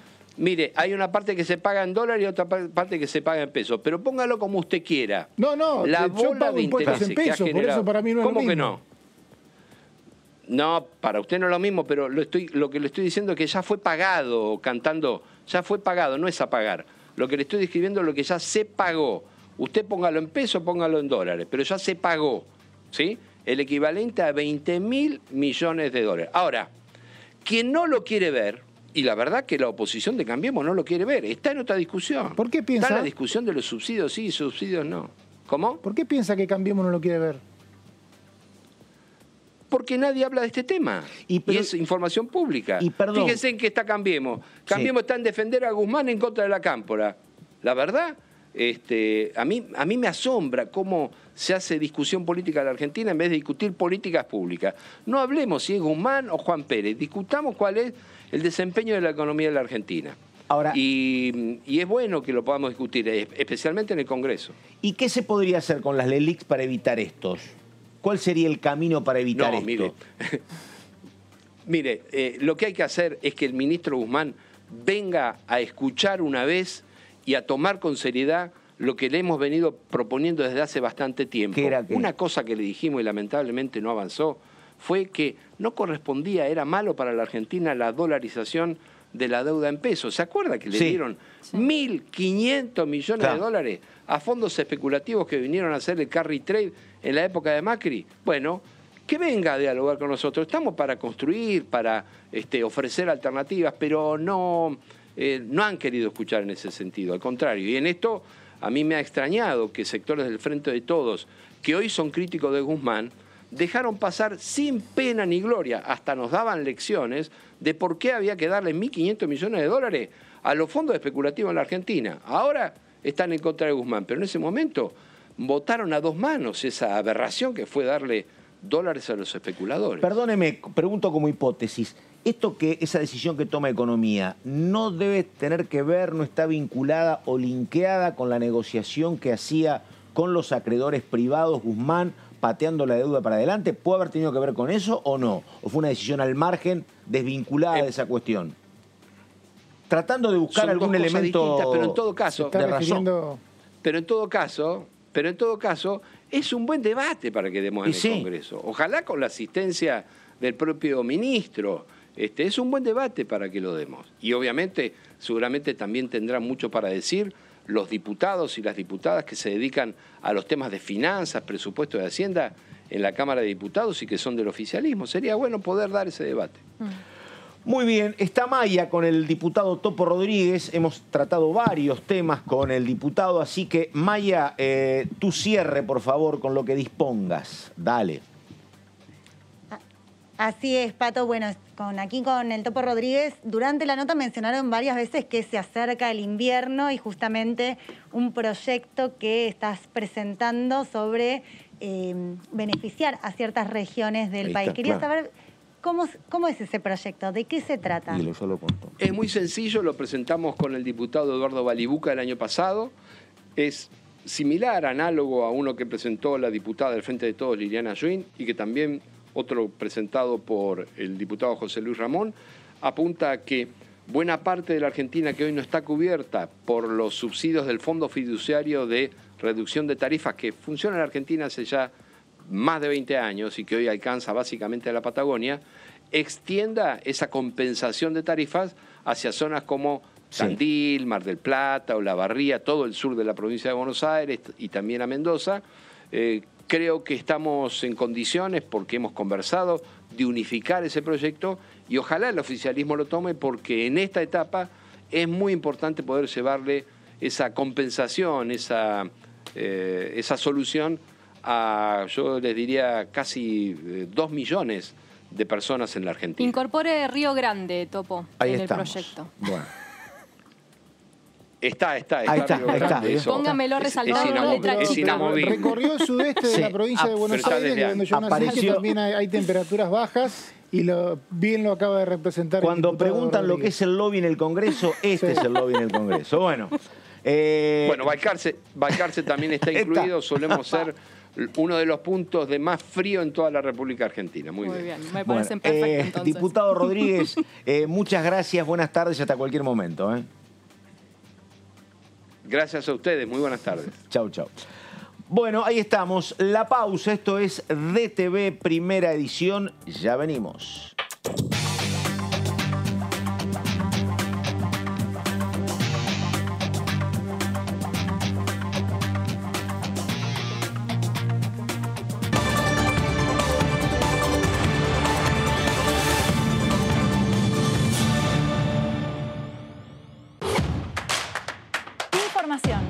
Análisis. Diálogo. Consenso. Innovación. Economía. Ambiente. Tecnología. Federalismo. Pluralidad. Oficialismo. Oposición. Todo lo que sucede en el Congreso. Te lo contamos nosotros. Porque somos tu voz en el Congreso. DTV, el periodismo en el Congreso ya desesperado por la hora para venir para acá. Me atendieron re bien, agradecido y contento y ya cumplí mi, esperanza de vacunarme, mi ansiedad que tenía. Ya con esto yo ya me siento a lo mejor un poquito más, más fuerte y porque sé que ya tengo un poco más de defensa. Estoy feliz, estoy feliz porque esperé tanto tiempo esto. Yo me voy a cuidar lo mismo como me cuidaste ahora, solamente que me va a dar tranquilidad un poco más de tranquilidad. Y todos tienen que tomar conciencia que esto sigue. Sí, uno tiene que pensar en uno y en el otro. Todos, todos, todos, sin ninguna duda tienen que vacunarse. Es la única forma que vamos a salir adelante. Que las vacunas son para protegernos. No tenemos que tenerle miedo, al contrario.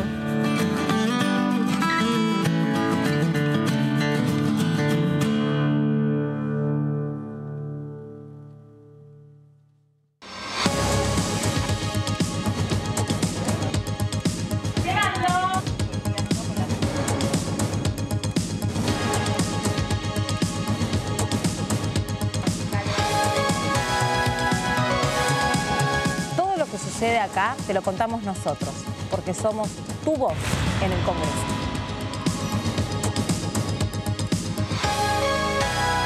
DTV, el periodismo del Congreso. ¿Qué diferencia hay entre la Cámara de Diputados y la Cámara de Senadores? La Cámara de Diputados representa al pueblo de la nación argentina. Esto significa que las provincias más grandes y con mayor cantidad de habitantes tienen muchos más diputados que las provincias más pequeñas. La manera de establecer las cantidades es proporcional. La Cámara de Senadores representa a las provincias. Cada provincia envía tres senadores al Congreso Nacional. El total de senadores es 72, dado que las provincias argentinas son 24. Este es un número fijo. Por ejemplo, la provincia de Buenos Aires cuenta con 70 diputados nacionales y la provincia de Tierra del Fuego con 5. Pero tanto la provincia de Buenos Aires como la de Tierra del Fuego cuentan con tres representantes cada una en el Senado de la Nación. Cada dos años, el Congreso Nacional renueva la mitad de sus diputados y un tercio de sus senadores nacionales. El mandato de los senadores es de seis años, mientras que el de los diputados es más breve, dura solamente cuatro años.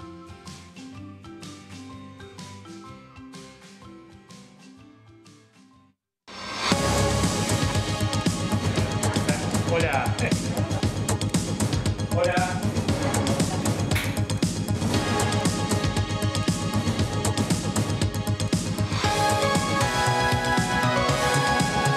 Lo que sucede en el Congreso te lo contamos nosotros, porque somos tu voz en el Congreso.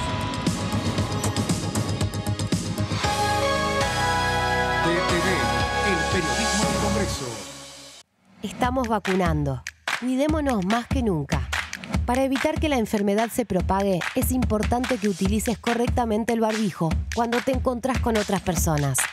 Chequea que tenga dos o tres capas de tela. Usalo siempre y cubriendo el mentón, la boca y la nariz. Recordá que los barbijos con válvulas y las máscaras no impiden la transmisión de COVID-19. Sigamos practicando la cuidadanía. Ministerio de Salud. Argentina Presidencia.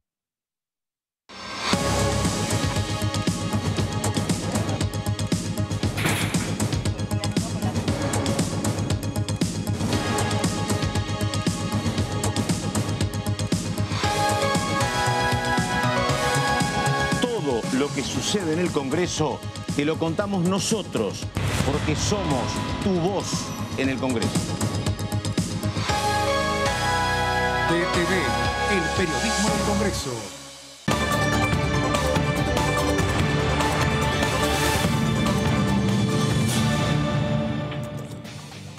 Estamos eh, en este tramo de DTV Primera Edición, estamos con Verónica Benaim, estamos con Mauricio Cantando. En un rato vamos a estar repasando dos o tres de las cuestiones que señaló recién el Topo Rodríguez, donde él dice que hay un camino que yo no sé si va a ser tan sencillo en torno a biocombustibles, porque él no eh, incluyó entre los que opinan a los sectores más cercanos a las provincias productoras de hidrocarburos o de petróleo, hay que ver lo que dice ese sector, y atención que eh, él puso mucho reparo a un eventual proyecto sanitario. ¿eh? Él dijo que este, no puede seguir la línea en la cual se hizo fuerte la Corte Suprema, que dijo, recordamos, no opinamos del tema sanitario, pero no puede inmiscuirse la nación en un tema que tiene que ver con la órbita de la ciudad de Buenos Aires. Hay que ir a un pacto Así que vamos federal. a ver. Hay que ir a un pacto federal, dice Alejandro Topos Rodríguez, que sería algo similar a lo que hace el gobierno nacional respecto a las cuestiones tributarias y económicas de las provincias, lo que conocemos como el consenso fiscal. Efectivamente. Bueno, este, y vamos a saludar a el diputado del Frente de Todos, Jorge Antonio Romero, hombre de la provincia de Corrientes. Diputado, ¿cómo le va? Carlos Méndez lo saluda. ¿Qué dice? Buenas tardes, ahí está. Buenas tardes, ¿cómo le va? Bueno. Bien, bien, un gusto. Igualmente. Diputado, eh, pregunta, ¿cómo está la cuestión sanitaria en la provincia?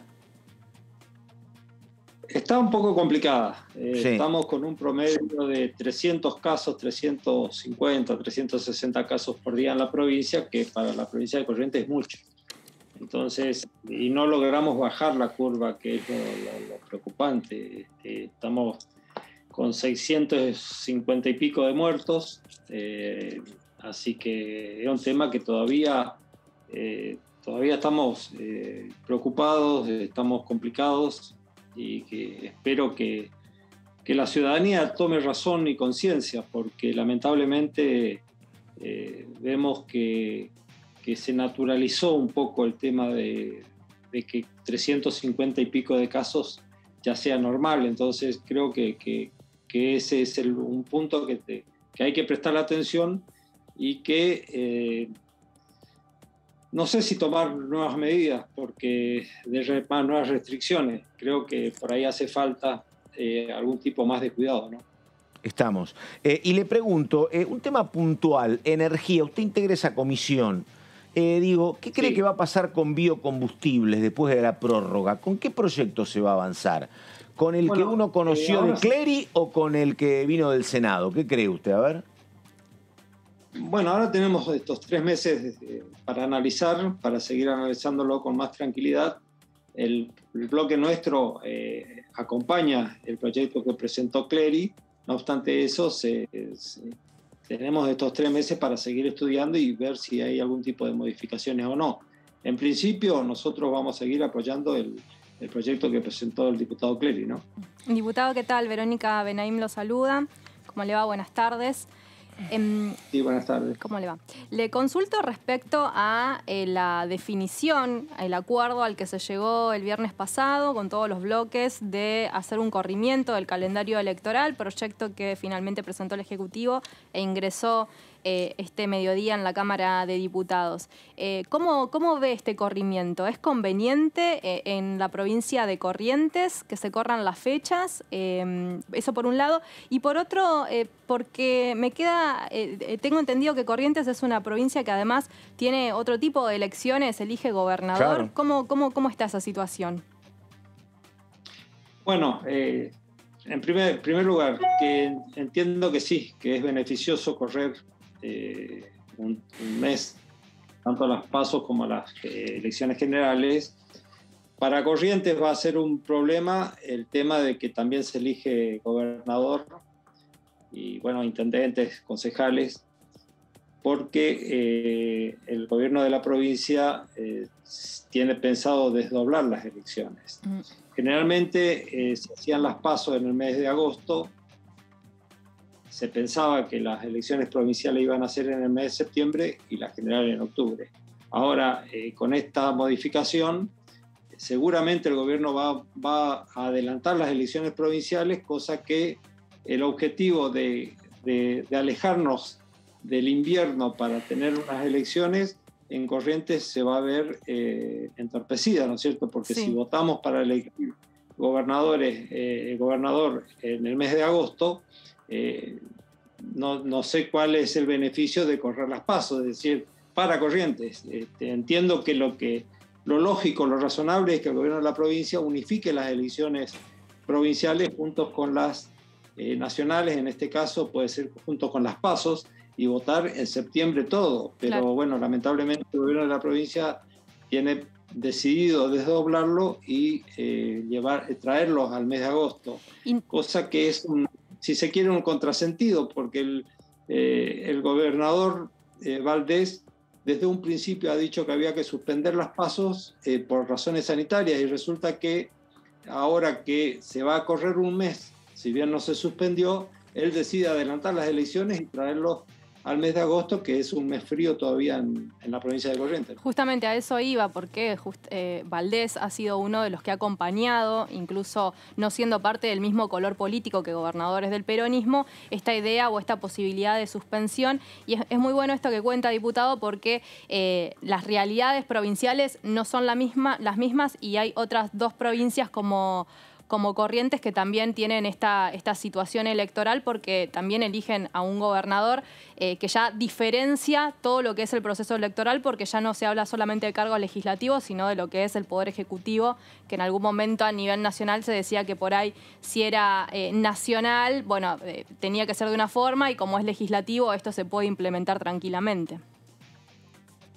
Claro, claro, por eso yo creo que lo, lógico, lo natural hubiese sido que votemos todos juntos, es decir, que se voten tanto las las nacionales como la, la elección provincial a, cargos ejecutivos en, la misma fecha para evitar eh, tanto traslado de gente, tanta movilización y llevarlo un poco más ya fuera del invierno, es decir, más, más en la primavera, cosa que, bueno, lamentablemente y por lo que se dice en la provincia, por, los, por declaraciones incluso de, del intendente de la capital en el día de ayer, que eh, las elecciones provinciales serían el 22 o el 29 de agosto, cosa que, que, vamos a tener eh, tres elecciones eh, o cuatro elecciones este año en la provincia de Corrientes, porque si se llega a una segunda vuelta en la, la elección a gobernador, vamos a tener un cuarto turno electoral, cosa que la movilización y de, la gente va a ser eh, mucho más grande que, que, en, el resto de las provincias. Diputado, eh, aprovecho eh, la, ubicación de Corrientes, si mal no tengo entendido, es una provincia que eh, tiene límite con tres países, porque ahí el sur bordea también con Uruguay y también tiene un límite bastante grande con Paraguay y con Brasil. Se habla mucho de la región, de cómo está la región, de que si está bien, de que si está mal. ¿Qué panorama nos puede dar de la región en cuanto al combate por el coronavirus, que en esta segunda ola, cómo estuvo Brasil, cómo estuvo Paraguay y cómo estuvo Uruguay? Bueno, como todos sabemos, tanto los tres países que limitan con corrientes eh, están complicados, eh, sobre todo Brasil está muy complicado, eh, siempre estuvo complicado, pero esta segunda ola con, el, con la variante Manaus estuvo más complicado aún. Este, y eso, bueno, por suerte en la provincia de Corrientes no ha ingresado esta variante, mayormente creo que hubo uno o dos casos en la ciudad de Ituzaingó, eh, pero eh, el cuidado sí hay que tenerlo y vuelvo a repetir, eh, los números de tanto de infectados como de muertos en el mes de, de abril ha sido lo más alto desde que se inició la pandemia. Entonces, no estamos ni mucho menos lejos de tener, empezar a tener un alivio o empezar a, ver que la curva empieza a descender, ¿no es cierto? Así que, bueno, por eso dije al principio, yo creo que habría que estudiar de eh, implementar alguna nueva restricción o más controles, porque eh, la vida se ha naturalizado mucho acá en estamos eh, viviendo prácticamente una, vida normal, salvo que a la noche se están prohibidas las fiestas, este, las salidas, pero sigue funcionando el casino, sigue funcionando los restaurantes, es decir, estamos viviendo normalmente que, bueno, que está bien, pero creo que hay que, que, hay que implementar eh, más controles porque, bueno, la, la, curva sigue, sigue muy alta. ¿no? Y perdóneme, se ha, mesetado sí, no, porque siguiendo con la, con la pregunta, ¿cómo está el control de la frontera con los tres países en este momento? Bueno, está totalmente cerrada. Las, ah. fronteras están cerradas. No hay, no, hay filtraciones, o sea, eso está, el control se está cumpliendo, no está entrando nadie. Entiendo que sí, entiendo que se está cumpliendo porque, bueno, los resultados se están viendo, ¿no es cierto? Eh, afortunadamente no tenemos contagios eh, que vengan de tanto de Brasil, que es el más preocupante, ni de Paraguay. Eh, bueno, con Uruguay tenemos una frontera en Montecasero únicamente, una triple frontera que, no, que es a través del río, entonces es mucho menos, mucho menos la circulación, pero con Brasil, que incluso tenemos frontera seca en algunos lugares, este, no, corriente, pero sí misiones. Eh, eh, entiendo que se viene haciendo el control y que si hay algún tipo de, fuga es muy poca, ¿no? Si, si hay algún tipo de, ingresos eh, fuera de lo, de, lo normal o fuera de lo autorizado, creo que es muy poco. diputado, y perdóneme, clases, hay clases presenciales en la provincia, ¿no? hay clases presenciales en la provincia, Corrientes no estaba dentro del decreto del presidente Fernández, sí es, hay una, una especie de burbuja, es decir, se hace una semana alternada, una semana los chicos tienen clase, una semana lo tienen en forma virtual. Eh, o sea que, cada chico va 15 días al mes al, colegio. No, no, preguntaba porque, digo, usted también dice que funcionan los casinos, obviamente es como eh, la gran cuestión cuando se discute la presencialidad o no. ¿Cómo no va a haber presencialidad si los casinos funcionan? Bueno, hay presencialidad, alternada, pero hay presencialidad. Lo que tendría que, sí, presencialidad tendría que haber, lo que no tendría que estar autorizado es el funcionamiento de casinos. Claro. Diputado, y es como una industria el casino, la verdad. La verdad. Es una manera de recaudar. no debe ser por eso, ¿no? No, entran creo en el rubro gastronómico, ¿no? sí, no, ya entiendo, sí. Sí. Exactamente. la salud primero. Sí, sí, por eso. Diputado, me quedé con el tema elecciones provinciales. Eh, ¿Y cómo, cómo está el, la, disputa, porque eh, Valdés eh, es uno de los eh, pocos gobernadores que tiene el Frente Juntos por el Cambio y es una provincia muy importante justamente. Y desde el fin de semana hay nuevo interventor. El peronismo tiene nuevo interventor en la provincia, Juan Chizabaleta, desde el fin de semana. ¿Cómo, cómo está toda esa situación? Bueno, estamos entrando en, en pleno proceso electoral. Este, se están incluso reubicando algunos partidos en la conformación de frentes, algunos van, eh, en este caso el vicegobernador de la provincia ha decidido salir fuera del, del frente de ECO Cambiemos del gobernador Valdés este, y ha decidido ir por la candidatura a intendente de la capital eh, por fuera de, ese frente. O sea, está habiendo una, una especie de, de reacomodamiento. Bueno, veremos en el transcurso este, de, estos meses que quedan, a ver cómo queda en definitiva este, conformado los distintos frentes. Es una provincia que puede... es una, perdón, diputado, es una, provincia que puede perder juntos por el cambio, en este, como, como ve más o menos el análisis político. Y todo es posible, todo es posible cuando también puede ganar. Hoy las encuestas le están dando favorables al, gobernador Valdés, este, no hay que desconocerlo, pero eh, eso no significa que con todos estos movimientos que está viendo pueda llegar a haber sorpresa, ¿no? Este, entonces, eh, y como recién acaban de decir, el Partido Justicialista está, estaba intervenido y ahora a partir del día sábado tenemos nuevo interventor que es el intendente eh, Juan, Chizabaleta. Eh, históricamente es una provincia bastante áspera en la relación con el peronismo. El peronismo ha ganado en algún momento. Creo que más de 40 años sin ganar lleva, Exactamente, claro, claro. Pero ahí estaba el partido provincial del Pocho Romero Feria, el radicalismo. Claro, así que le escuchó siempre. Eh, el Partido Justicialista no es gobierno desde el año 73. el, el, último gobernador fue Julio Romero. Claro. Este, a partir de ahí nunca más fue, fue gobierno en la provincia. Es una provincia bastante conservadora. Sí. Este, pero eh, se da la, la, la, la, mágica, eh, ¿cómo te diría? La mágica situación de que el peronismo ganó siempre las elecciones nacionales y perdió las provinciales. Mira vos. Es una. Ah, sí. Hay un votante local. Es un, problema de candidato, entonces, a lo mejor. Puede ser. Y puede, ser, puede ser problema de puede ser problema de, de, puede ser problema, es decir, habría que hacer un estudio sociológico cuál es el, motivo por el cual en las elecciones nacionales... Y suele pasar. O sea, acá, si no me equivoco, en el 2015 eh, a nivel nacional eh, había ganado eh, Scioli en la provincia de Buenos Aires, por ejemplo. Y también ganó en Corrientes. También ganó en Corrientes, por mucho, tengo entendido, no? Claro. Sí, ganó. Eh, es decir, eh, desde el 2000, desde la implantación de la, de la democracia, Corrientes siempre eh, ha, ganado, ha ganado el peronismo, excepto Alfonsín. Mira vos. A partir de ahí siempre ha ganado el peronismo en todas las elecciones presidenciales de la nación. diputado, usted integra la Comisión de Presupuesto. Se suscitó un debate estos últimos días sobre el gasto en subsidios. Usted leyó el presupuesto, vio los gastos que hay previstos para subsidios. Eh, el ministro Guzmán eh, no los quiere incrementar. ¿Qué opinión tiene al respecto? A ver, yo creo que hay que hacer un estudio eh, consensuado. Yo creo que hay que sectorizar en todo caso los subsidios, pero... Subsidio a servicio público, aclaremos, si no nos entiende. Sí, sí, sí, entiendo, entiendo, entiendo. Sí, entiendo, sí, entiendo y creo que tiene que haber una mayor...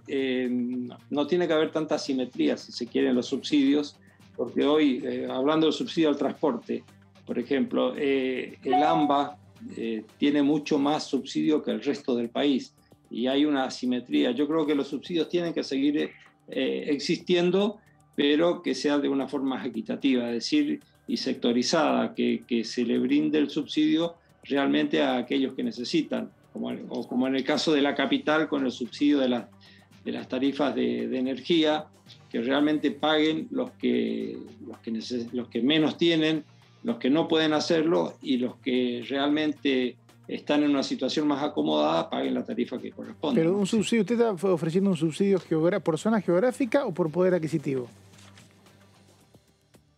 Por, poder, adquisitivo, por poder adquisitivo, Por poder adquisitivo. Sí.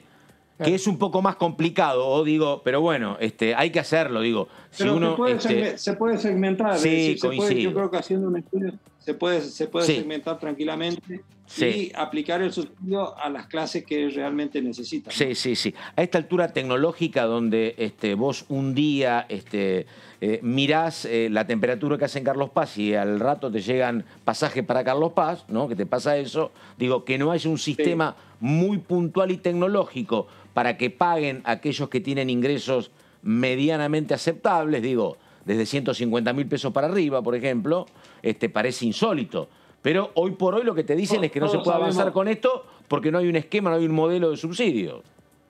Pero Todos sabemos cuánta gente cobró el IFE, cuánta gente fue con el ATP, cuánta, cuánta gente cobra el AUH. Es decir, eh, hay formas eh, y hay empadronamientos de saber eh, quiénes realmente necesitan un subsidio tanto al transporte, a la tarifa eléctrica, al gas, este, y, quiénes están en condiciones de abonar la tarifa plana, la tarifa Exactamente. El diputado Jorge Romero, Frente de Todos, Corrientes. Diputado, gracias y buenas tardes hasta cualquier momento. No, al contrario, muchas gracias a ustedes. Muy bien. Muy bien, recordamos, hoy a las 17, transmisión de DTV de la entrega de premios de parlamentario, donde obviamente vamos a estar particularmente atentos a lo que pasa en el momento de premiar la mejor cobertura televisiva del Congreso, este que obviamente es un premio que se lleva DTV, así que muchísimas gracias y a las 5 repetimos transmisión de todo lo que pase con los este, premios parlamentarios que ya tienen una muy larga y proficua historia en el ámbito del Congreso. Bueno, a ver, vamos por eh, partes. Eh, primero, le pregunto, este, Verónica Benaim, diga, en materia de eh, llegada de proyectos, ¿ya está el proyecto que establece los cambios de fechas? Y lo otro, pregunto, el tema de este proyecto, yo le digo proyecto sanitario, para eso no hay momento Te todavía. Te lo dije en la hora anterior que podría ingresar por el Senado ese proyecto y ya está confirmado, lo confirmó Santiago Cafiero en un acto en Verazategui. Dijo que esa iniciativa va a ingresar definitivamente por la Cámara de Senadores, así que eh, ya lo confirmó el jefe de gabinete. Hablamos del proyecto de ley que quiere darle un marco normativo, institucional, legal a las medidas que va tomando el presidente de la Nación respecto a la pandemia y será la Cámara que preside Cristina Fernández de Kirchner la que empiece el debate primero y luego girará esa iniciativa a diputados. Así que la confirmación, Pato. Cantando, eh, le pregunto, usted eh, lo consultaba justamente al diputado Romero por el tema de este, lo que tiene que ver con subsidios. Digo, ¿Eso este, se va a resolver en el Ejecutivo? No, eso se tiene, que, eso se tiene que ¿Eh? resolver cada vez que se debata el presupuesto. A fines de junio, el Ministerio de Hacienda tiene que enviar un adelanto del presupuesto que habitualmente no se presta mucha atención, pero no falta tanto. Y el 15 de septiembre tampoco falta tanto como parece, justo tres días después de las elecciones primarias, mira qué casualidad, el ministro de Hacienda va a tener que presentar el proyecto de presupuesto de 2022 y ahí van a estar consignados los gastos a los subsidios. O sea que me parece que es una pelea que vamos a tener en el Congreso ya desde el mes que viene. Ahí estamos. Y vamos a saludarlo a el diputado Juan Martín, hombre de la Unión Cívica Radical de este, Santa Fe. Diputado, Eh, ¿Cómo le va? Eh, Carlos Méndez lo saluda, que dice, este, buenas tardes.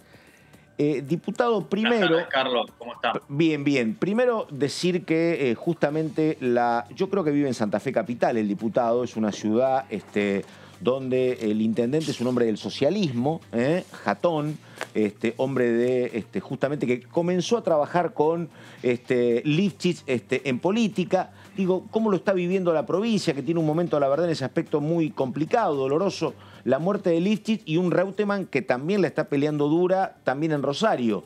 Pero ¿qué, clima hay? ¿Qué pasa? ¿Qué se dice, Martín?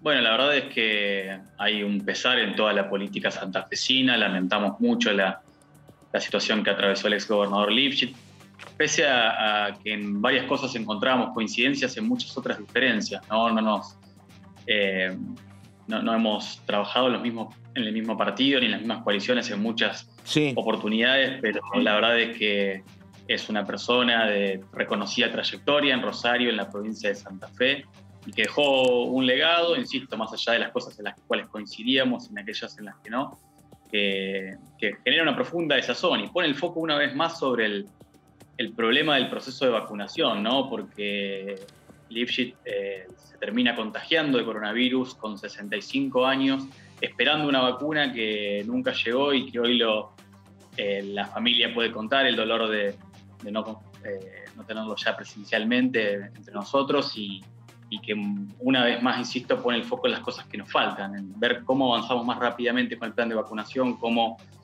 llegamos a todos los, los actores de riesgo y también algo que nos cabe a todos, cómo nos cuidamos, cómo eh, respetamos los protocolos y las medidas de distanciamiento que claramente indican que la pandemia no ha terminado y que más que nunca también tenemos que reforzar ese, cuidado personal. Pero consternación en la política santafesina porque eh, claramente, insisto, más allá de, las posiciones políticas en las que nos hemos encontrado trabajando juntos o separados, realmente eh, muchas de esas son porque era una persona joven que seguramente también tenía mucho para dar en el partido. Así que expresamos nuestro pesar con sus seres queridos y con los militantes del Partido Socialista también.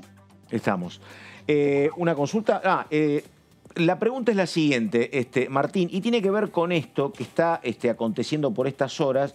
No hay ningún dato certero, dice Verónica, y creo que va por ahí la cosa, de que muy posiblemente ingrese por el Senado un proyecto que yo digo es el proyecto sanitario, algunas disposiciones de orden general del gobierno para ir resolviendo en materia de salud.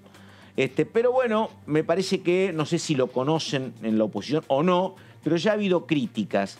¿Tienen alguna perspectiva? ¿Suponen que es en forma de proyecto lo que llegó como DNU a la Corte? ¿Qué es lo que saben, diputado? Bueno, la verdad que al momento conocemos poco, pero sí lo que eh, conocemos por trascendidos periodísticos, pero además por las mismas declaraciones del presidente, del jefe de gabinete y su equipo, es que están queriendo resolver vía, eh, vía legislativa las limitaciones que ya impone la constitución en nuestro sistema republicano de gobierno, ¿no? Y cuando el avasallamiento no se puede perpetrar por una decisión unilateral, se quiere trasladar al Congreso. Insisto, una cuestión que no tiene que ver con si reúne o no mayorías parlamentarias, porque también la Constitución, nuestra Carta Magna, establece una serie de equilibrios entre los estados, el Estado federal los estados provinciales que también tenemos que respetar en todos los órdenes. Y esto también nos involucra a nosotros en el Congreso. Queremos ser eh, garantes y fieles a, esa constitución que de ninguna manera se encuentra suspendida. Obviamente que la emergencia y la situación de, pandemia nos obliga a, repensar esa dinámica constitucional, pero para nada se suspenden las garantías que tenemos todos los ciudadanos, nuestras libertades, pero además la necesaria coordinación y el federalismo de concertación que tiene que existir en la República Argentina. Y si el presidente y el oficialismo quiere suplir esta premisa básica que está establecida en todo el articulado de nuestra Constitución por un proyecto de ley, claramente nuestra posición eh, va a ser una posición negativa, porque lo que queremos más que nada, insisto, es retomar la mejor experiencia de, de la gestión de la pandemia, como en marzo del 2020, donde se apelaba al diálogo más allá de las identidades políticas y se trataban de concertar las decisiones, muchas veces a veces encontrando puntos de vista encontrados y, no siempre vamos a, arribar a las mismas conclusiones y también ahí las provincias tienen un gran,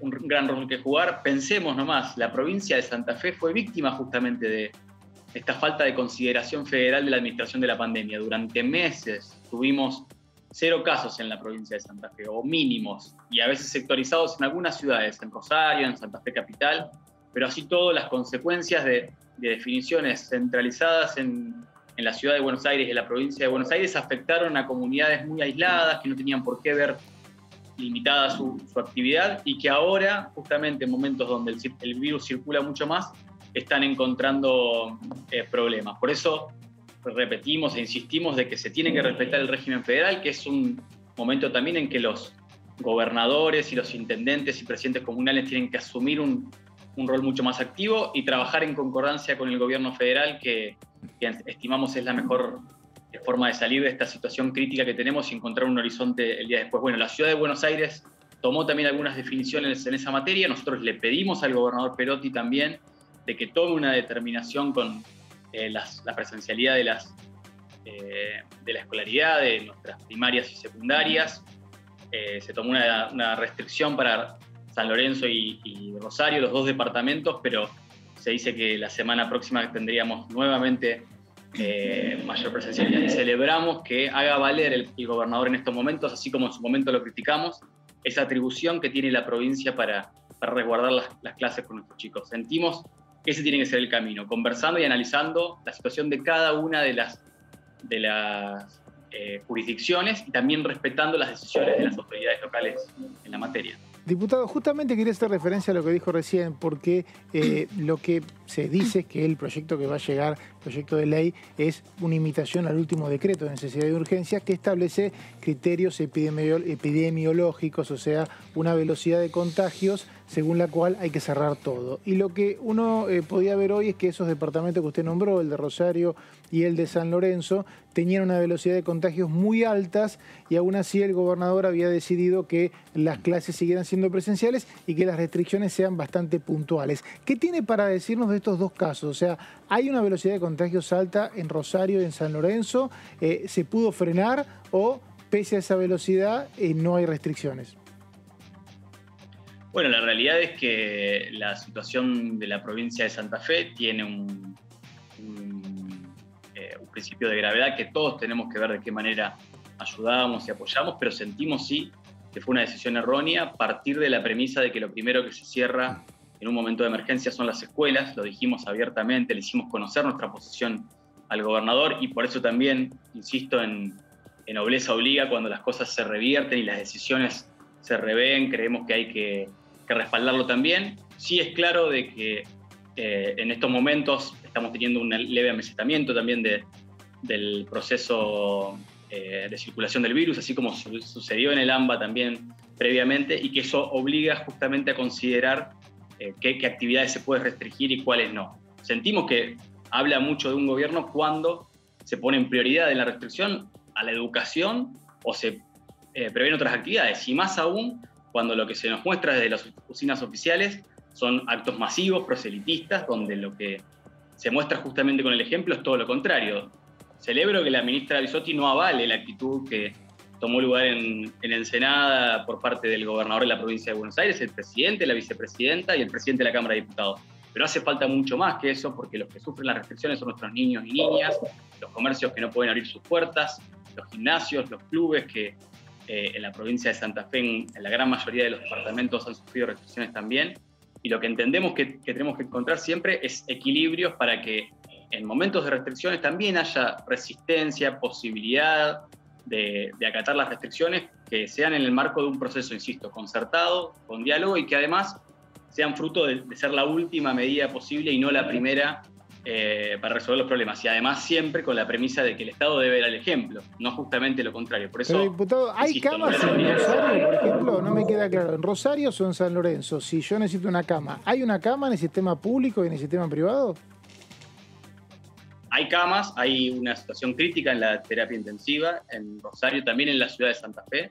No por el departamento San Lorenzo y Rosario, también eso hay que decirlo, hay que tener en cuenta de que la provincia funciona como una integralidad y esta misma es la posición que llevó el gobernador Perotti, no, lo decimos solamente la oposición, sino el mismo oficialismo respecto de la consideración de lo que era crítico, porque muchas de las cosas que están sucediendo a veces son de departamentos que se pueden eh, resolver con medidas más aisladas y no tomando en cuenta la situación de Rosario, que no es la única que deriva a la situación del sistema sanitario de, Rosario. Al contrario, por eso insisto de que tiene que haber una delegación mucho más eh, profusa en los gobiernos provinciales. De hecho, el gobernador tomó esa restricción, pero sin estar profundamente de acuerdo con que la, medida sea eh, suspender las clases presenciales. Él mismo dijo que quería rediscutir cuál era el criterio y además cuáles son las camas que efectivamente cuentan en todo el sistema de salud provincial, porque hay una situación crítica en Rafaela, hay una situación crítica en la ciudad de Santa Fe y en Rosario.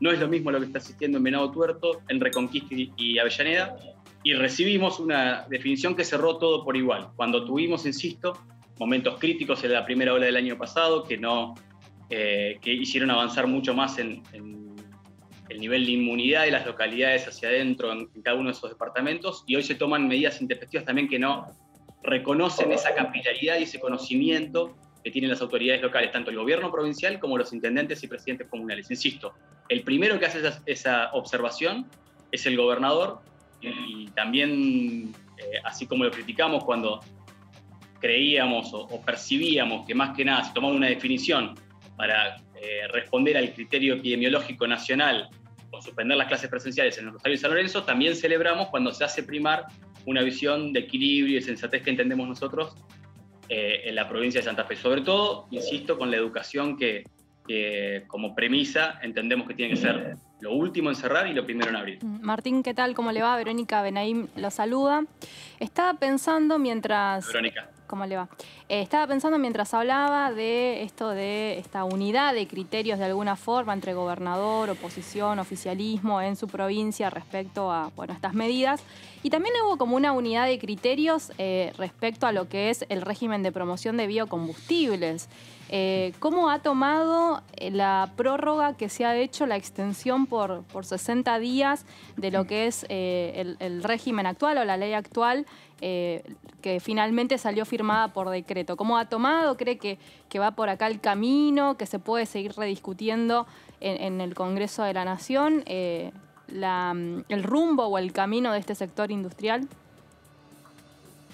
Bueno, desde ya que tiene que ser materia de discusión en el Congreso de la Nación. De hecho, nosotros también fuimos muy francos en, toda esta conversación, sentíamos que el camino en lo inmediato tenía que ver con la prórroga del régimen actual de biocombustibles y pensar en el mediano plazo, pero con una discusión profusa con todos los sectores sentados arriba de la mesa y, viendo sí que la realidad del 2021 claramente no es la del 2006 donde se sancionó la ley y hay cosas que se pueden eh, pensar a futuro y hacer perfectibles en el régimen, pero no con el cuchillo abajo de las costillas y, sabiendo de que no hay régimen posible. Por eso es una, primera buena medida que se prorroguen y que le demos por lo menos esa certeza de dos meses al, al sector que tanta incertidumbre y falta de precisión tiene, pero sí es cierto de que volvemos a tirar la pelota un poquito más allá, pero sin resolver el problema integral. Para eso, insisto, sentimos que por lo menos tiene que haber una prórroga hasta fin de año que les permita planificar todo el,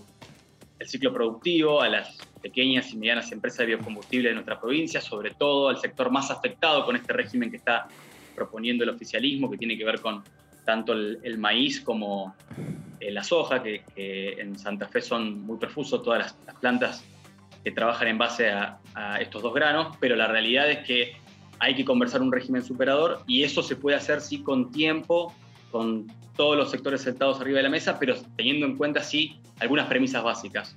Particularmente que no vayamos a contramano del mundo, que no reduzcamos el corte de, energías alternativas como son las que proveen las biocombustibles, los biocombustibles, porque efectivamente tenemos que repensar nuestra matriz energética y no podemos ser dependientes de una energía eh, como son los combustibles fósiles que realmente están siendo abandonadas en el mundo, no por demonizar a nadie, sino porque justamente tenemos que prever en nuestra agenda la transición energética y esto que hoy está proponiendo el oficialismo claramente va a contramano. Por eso este tipo de debates se tienen que dar con tiempo, contemplando no solamente los actores involucrados, sino también qué modelo de matriz energética queremos para el país y no se puede hacer de la noche a la mañana, insisto. Es una buena medida que por lo menos de cara a, mayo, donde vencía el régimen, no, no se encuentran desamparados las, las empresas que tenían muchísima incertidumbre, pero tampoco es suficiente dos meses. Necesitamos eh, que por lo menos hasta fin de año, si el gobierno no quiere aprobar el régimen que sus mismos senadores impulsaron en,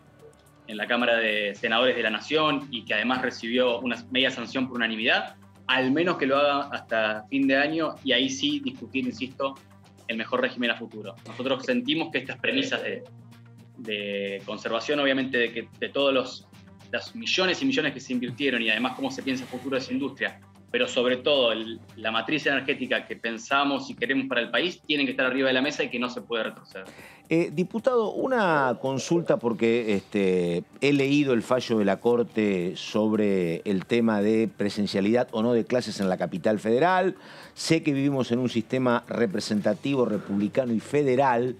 Pero la verdad que este, le pregunto si desde el sentido común, que a veces no sé si tiene que primar o no, no sería como medianamente ordenador que se vote un proyecto donde haya este, un protocolo donde diga, mira, en cualquier jurisdicción, a partir de que hay determinada cantidad de contagios cada 100.000 habitantes, se cierran los comercios o este, se anticipan este, las horas de actividad o se cierran las escuelas o se vuelve a la presencialidad o se vuelve a la virtualidad y a la presencialidad después cuando esto calme.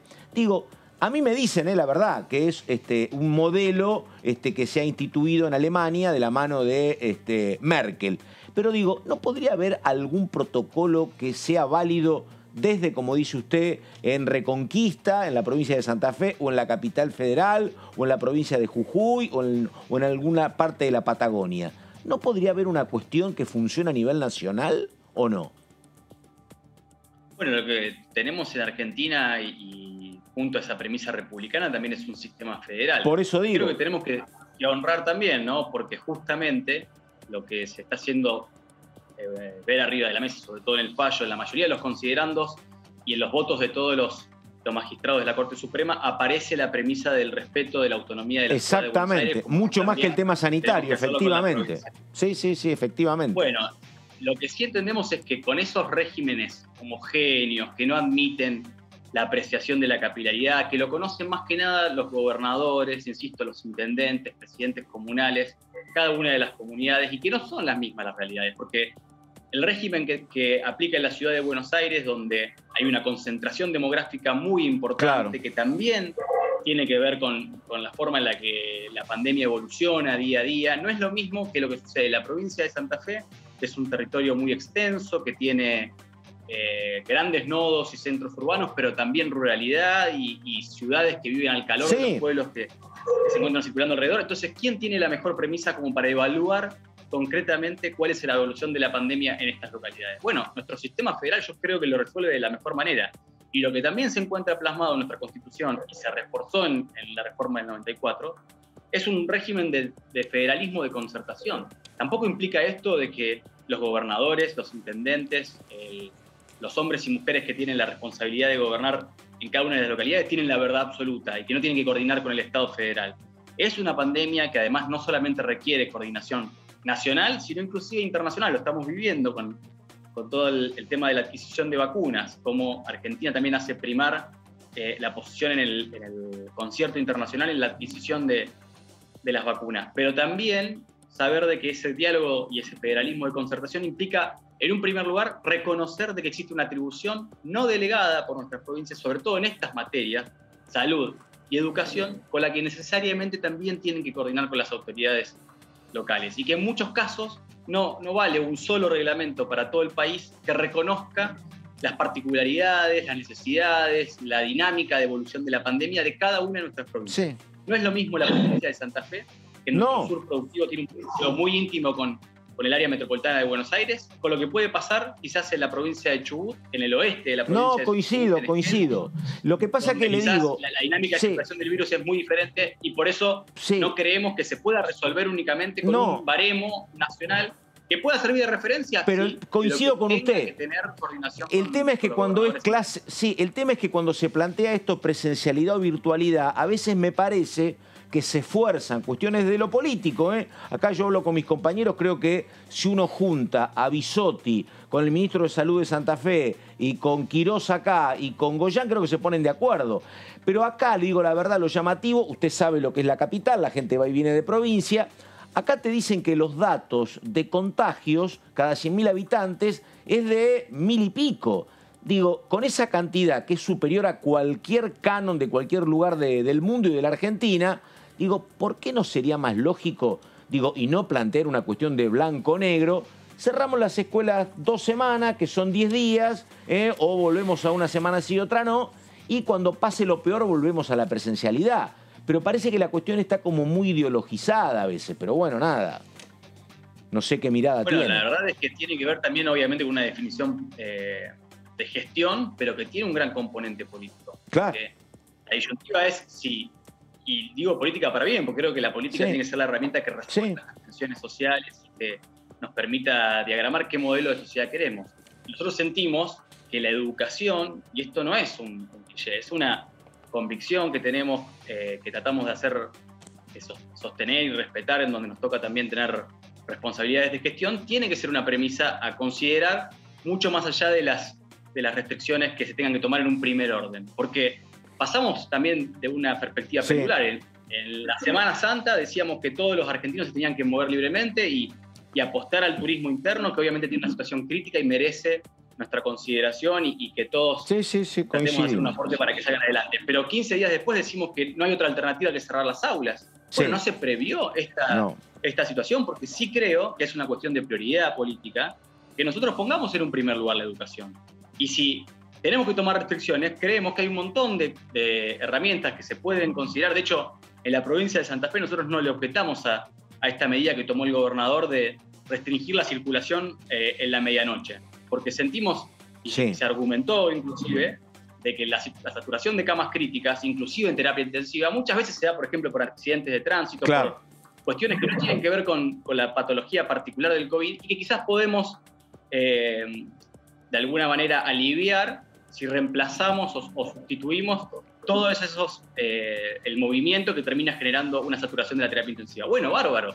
Esta es una restricción que tiene un grado de razonabilidad, una justificación, que obviamente también trae problemas, pero que, se entiende. Ahora, si la primera decisión política que toma un gobierno es suspender las clases presenciales sin ninguna diálogo, consideración de alternativas, de, de concertación con los gobiernos locales, claramente nos va a encontrar en una posición crítica que sentimos que se puede eh, pensar y hacer las cosas de otra manera. Y esto es lo que expresamos también en Juntos por el Cambio, lo hizo el jefe de gobierno de la ciudad de Buenos Aires, pero también lo sostenemos en el diálogo que tenemos con nuestros gobernadores, que en muchos casos son del oficialismo a nivel nacional, que, también tenemos que hacer respetar. Por eso fue nuestro pedido al, gobernador frente al anuncio del presidente Alberto Fernández. Celebramos en un primer momento que el, el, gobernador Perotti perdón, no se haya adherido a esa medida que pedía el, gobierno provincial. Criticamos en su momento cuando lo hizo y celebramos hoy nuevamente de que la educación vuelva a tener eh, centralidad. Sentimos que hay que avanzar inclusive en muchos eh, lugares en un paso más, porque recordemos que en Santa Fe tenemos un problema. Seguimos funcionando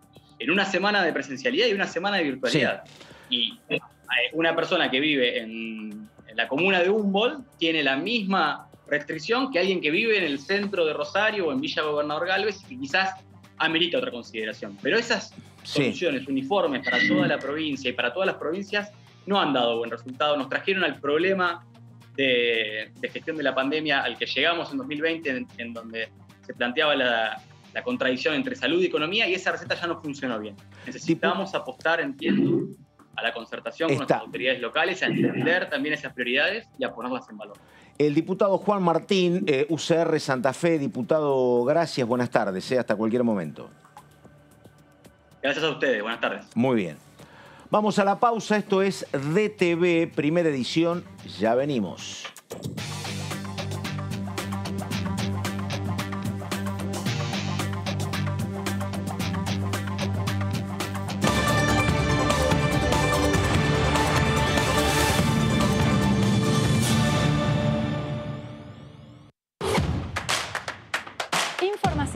Análisis. Diálogo. Consenso. Innovación. Economía. Ambiente. Tecnología. Federalismo. Pluralidad. Oficialismo. Oposición. Todo lo que sucede en el Congreso. Te lo contamos nosotros.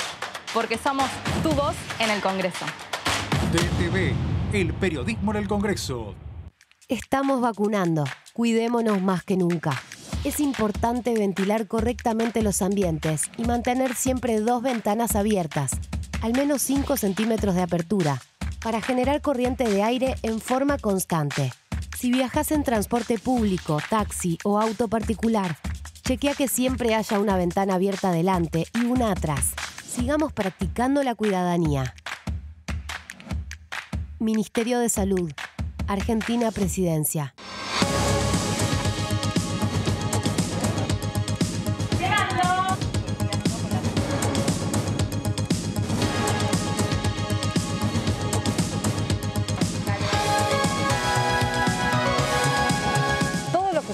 Acá te lo contamos nosotros, porque somos tu voz en el Congreso.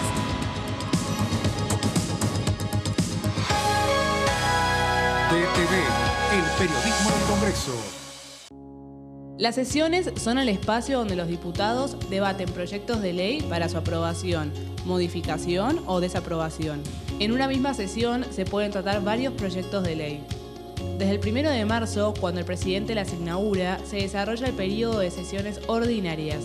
Entre el 1 de diciembre y el 28 de febrero se extiende el periodo de sesiones extraordinarias que solo pueden ser realizadas a pedido del presidente de la Nación. En el recinto, el bloque oficialista se dispone a la derecha del presidente de la Cámara, el bloque opositor mayoritario a la izquierda y en el centro los bloques con menos cantidad de integrantes. En el tratamiento, en general, los diputados tienen 7 minutos y los jefes de bloque entre 20 y 12 minutos conforme al número de legisladores que representen. La sesión es dirigida por el presidente de la Cámara de Diputados que administra el uso de la palabra y las distintas instancias del funcionamiento.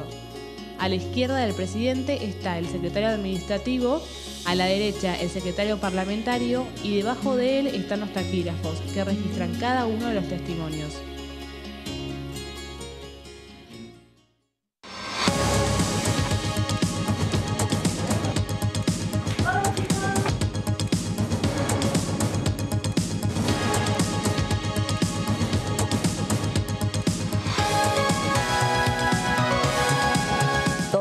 Sucede te lo contamos nosotros, porque somos tu voz en el Congreso.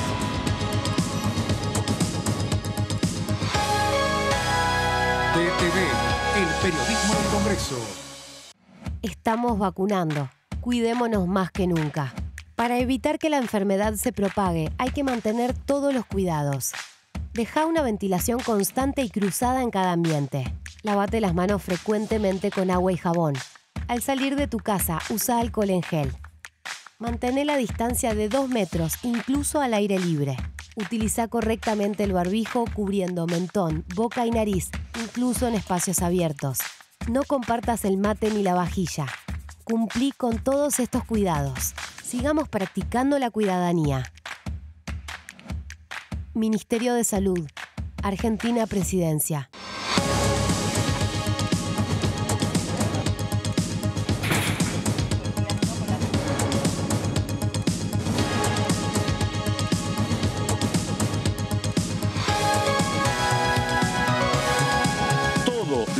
Sucede en el Congreso te lo contamos nosotros, porque somos tu voz en el Congreso. DTV, el periodismo del Congreso.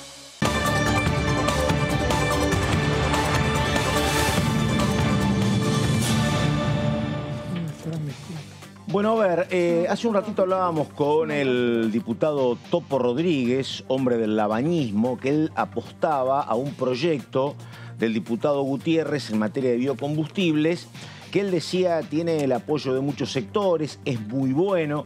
Claro, cuando él hablaba de los respaldos para ese proyecto, no decía nada de todo lo que es el sector representado por provincias petroleras, que ya desde el Vamos, a través de Almazapag, habían puesto reparos al proyecto original de Sagnum que vino del Senado votado por unanimidad.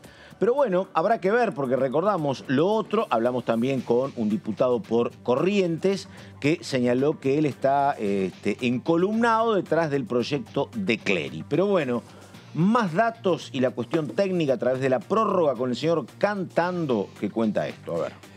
Sí, Pato, porque hoy tuvimos una novedad que es, eh, vamos a verlo ya en la primera placa que tenemos para mostrar, que eh, el boletín oficial eh, publicó un decreto del presidente Alberto Fernández que prorrogó por dos meses, o sea, caducaba el 12 de mayo y va a seguir hasta el 12 de julio la actual ley de biocombustibles que rige desde 2006 y define los cortes obligatorios del biodiesel para el gasoil y del bioetanol para las naftas. La prórroga, dice el propio decreto, puede interrumpirse si antes el Congreso sanciona un marco regulatorio, pero, como bien saben ustedes, las negociaciones están trabadas.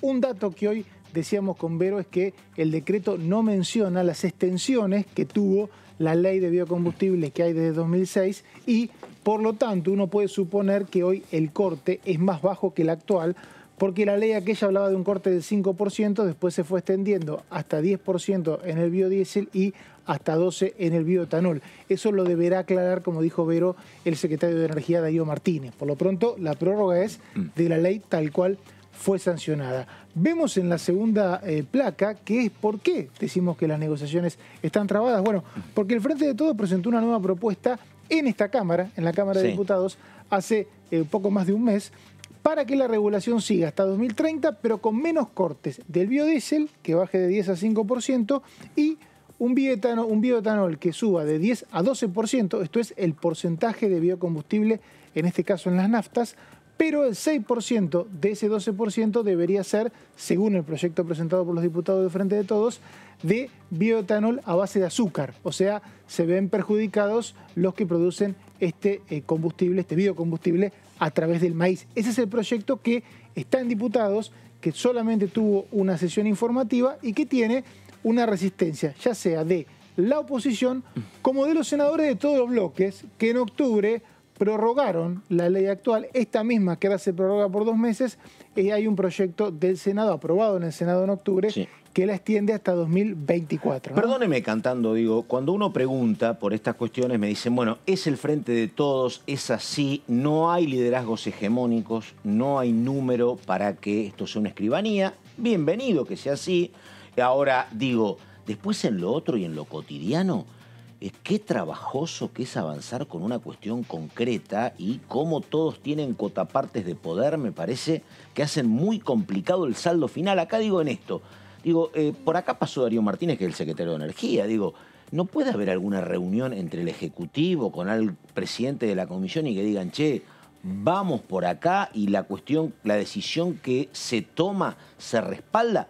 Porque si no lo que uno ve, estimado cantando, es que a veces hay este, dilaciones en proyectos puntuales que son como eternas, me parece. Sí, me parece que la crisis económica y la pandemia ha robustecido la voz de reclamo de las economías regionales. Claro. Y no creo que haya ningún espacio político, ni oficialismo, ni oposición, que pueda pedirle tan fácilmente a sus representantes que enfrenten por ahí alguna batalla local de eh, sus eh, productores, en este caso, ya sean los productores de biocombustible como los productores hidrocarburos que mencionabas vos recién, que están un poco reacios a continuar con la promoción. medida de nación que los perjudica a ellos es como que no hay plafón político para defenderlo. Nadie quiere perjudicar a nadie, vamos, a ser, vamos a ser bien intencionados, sino que hay posturas, hay posturas de beneficios que por ahí ya no van, de eh, beneficios que tienen que, en este caso, focalizarse, como por ejemplo los productores azucareros, pero por ejemplo los senadores de Córdoba, y de Santa Fe, del Frente de Todos, no quieren saber nada con rechazar el proyecto que ellos mismos aprobaron y que eh, permitió una continuidad en la producción de biodiesel, sobre todo en Santa Fe, en la zona de San Lorenzo que mencionaba hoy el diputado que, recién habló, Martín, de, de, la UCR, como también a la producción de bioetanol a base de maíz que tiene una base fuerte Perdóname, perdóname, Mauricio. Y me parece que a partir de lo que vos decís, que es muy razonable, es más complicado que lo que pasó, por ejemplo, con ganancias cuando te dijeron, che, a partir de 150 mil, ¿eh? a partir de ahí se paga. Y eso, ¿te acordás que acá lo decía Casareto? Bueno, bueno algún punto tenés que fijar. Fijás uno, la conducción dice 150 y a partir de ahí pagás. Pero me parece que. pero acá es otra cosa, claro. En temas locales está no hay, coincido con vos, claro. No hay margen. Es, como decís vos. No hay margen. Los márgenes ante una crisis económica son muy acotados.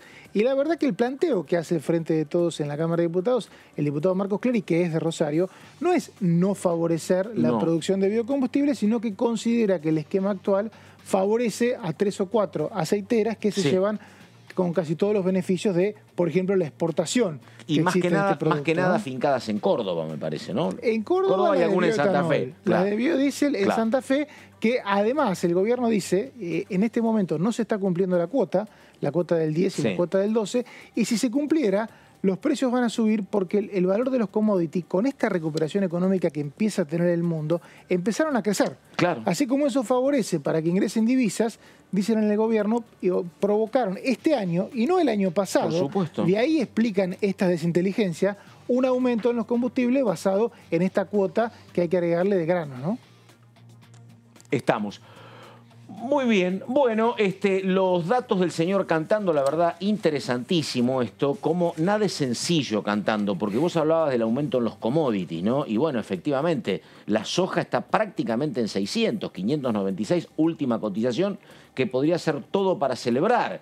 Pero bueno, también subió el maíz y cuando esos precios suben también se trasladan a los alimentos locales. Entonces se te complejiza la cuestión. Y encima tenemos el problema de la carne que como aumentamos las exportaciones y empezamos a exportar a China, tenemos un porcentaje muy alto de venta al exterior y se ha crecido mucho el valor de todos los cortes de carne. Exactamente que me explicaban. Yo no soy carnicero ni mucho menos, pero claro, ellos también compran la carne con hueso, que es parte del problema. Compren toda la vaca. Claro, porque antes vos le vendías, a Europa le vendías el lomo, Rusia, claro, te podías quedar acá este, con el asado, por ejemplo. No, ahora te compran todo. Te compran la vaca entera y lo que el gobierno empieza a hablar, ya sea el presidente, ya sea algunos legisladores, es la posibilidad de ir regulando esta parte del medio de los mercados. Siempre se habla de regular o la persiana o el puerto. Bueno, por ahí en la parte del medio se está quedando alguien con la posibilidad de decir, ¿sabes qué? Cobremos todo el valor de la exportación, ya sea al de acá, y si no exportemos, porque mercado hay.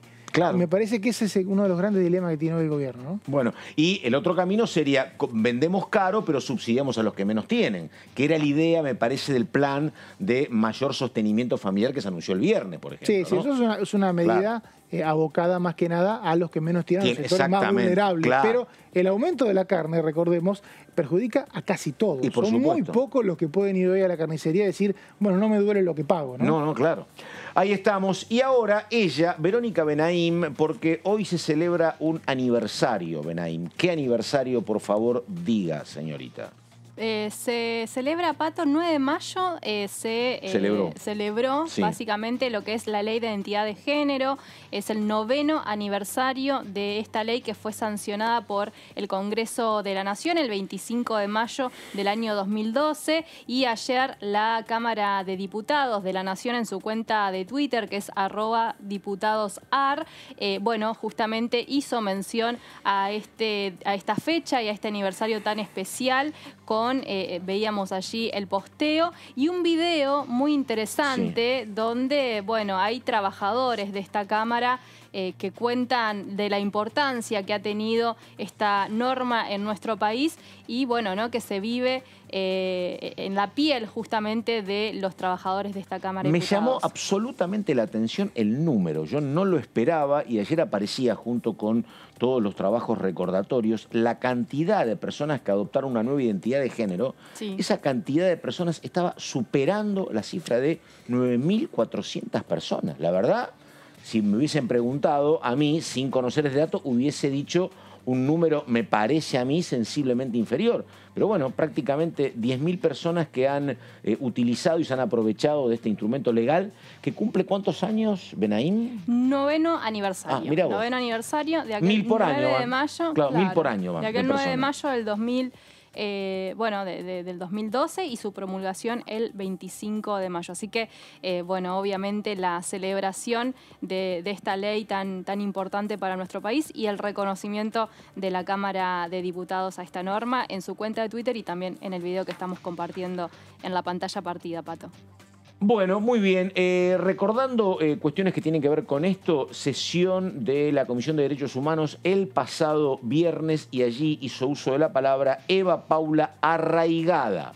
Le escuchamos a Eva, a ver. Tengo 51 años, soy una mujer trans. A mediados de principio de los 90 emigré hacia la ciudad de Buenos Aires eh, desde la provincia de Entre Ríos, buscando un futuro mejor, buscando nuevas libertades. Y a mediados de los años 90 comencé con mi transición. De ahí en más la vida que conocí dejó de serlo. Sufrí violaciones de parte de la policía, de efectivos de lo que era la comisaría 32, a premios ilegales de distintas comisarías, abusos, coimas. Ha habido un Estado ausente que ha usado toda su maquinaria en pos de perseguirnos. La violencia institucional en nosotras fue de distintas variantes. Se usó al Poder Judicial para un Poder Judicial que sigue siendo clasista, que no comprende las identidades trans, que no las escucha. También el sistema de salud, que no podía entender y todavía no tiene aceitado cómo poder solucionar nuestras dolencias. Dolencias que también no son propiedad de la población trans, sino que fue porque el aparato de salud no nos acompañó. La educación, que aún le falta esos espacios de libertad para que las identidades, las niñeces, travestis y trans puedan crecer en total libertad. Y sobre todo, las fuerzas de seguridad, que fueron la mano ejecutora para disciplinar lo que para muchos y muchas pertenecientes del Estado era algo que había que normalizar, porque las anormales de alguna forma había que disciplinarlas. Y para eso usaron toda la batería posible para diezmarnos. Tenemos un promedio de vida de 35 años. Hemos vivido una verdadera masacre por goteo. Y acá hay un solo responsable que es el Estado. Pero nosotras siempre hemos tenido algo que no nos pudieron arrancar nunca. Es la alegría, el optimismo y sobre todo la esperanza. Por eso estamos acá poniendo un voto de confianza y poniendo esa esperanza en este proyecto de ley que esperamos que ayude a que nuestra población deje de ser marginada y deje de ser diezmada. A ver, le estaba escuchando con mucha atención y un dato este, que este, la verdad me parece que no se resalta y es un dato gravísimo, delicadísimo. Ella estaba contando y diciendo que las fuerzas de seguridad eh, hicieron todo lo posible para diezmarnos, habla del colectivo trans, para aniquilarnos. Y ojo que está hablando eh, Eva Paula Arraigada del rol de fuerzas de seguridad y policías provinciales en 40 años de democracia. Lo que ella está contando no es de tiempos de la dictadura. Esto pasó por lo menos del 83 en adelante. Repito, y el máximo responsable, dijo, es el Estado, fuerzas de seguridad que hicieron todo lo posible por aniquilarnos.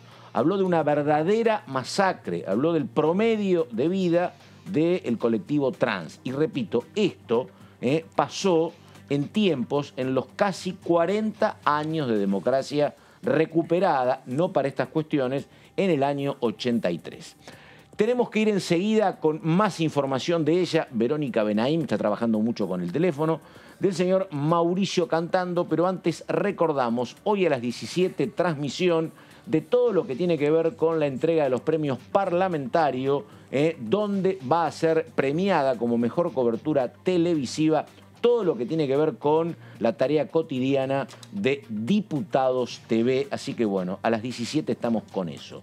Y ahora, ahora, el señor cantando, vamos recordando lo que tiene que ver con el eh, proyecto referido este, básicamente a esto que todavía no tiene nombre, pero que sería un proyecto sanitario con algunas características similares al DNU que ya trató la Corte Suprema diga cantando. Sí, eh, Vero nos dio un adelanto porque el jefe de, jefe de gabinete de la Nación, Santiago Cafiero, acaba de confirmar que el proyecto va a ingresar por el Senado. Hasta la semana pasada yo por lo menos especulaba que iba a hacerlo por diputados. En el Senado los tiempos son otros. Teniendo en cuenta que Cambiemos no está a favor, ahí hace falta siete días entre comisión y recinto. Por lo tanto, por lo menos hasta la semana que viene no se va a aprobar este proyecto en el Senado y recién después en diputados se va a buscar una mayoría que si los diputados por Córdoba o alguna parte del interbloque federal, que es un mixing que tiene socialistas, labañistas, algunos peronistas sin jefe, como le llamo yo, a dos o tres diputados que quedaron ahí de otra época,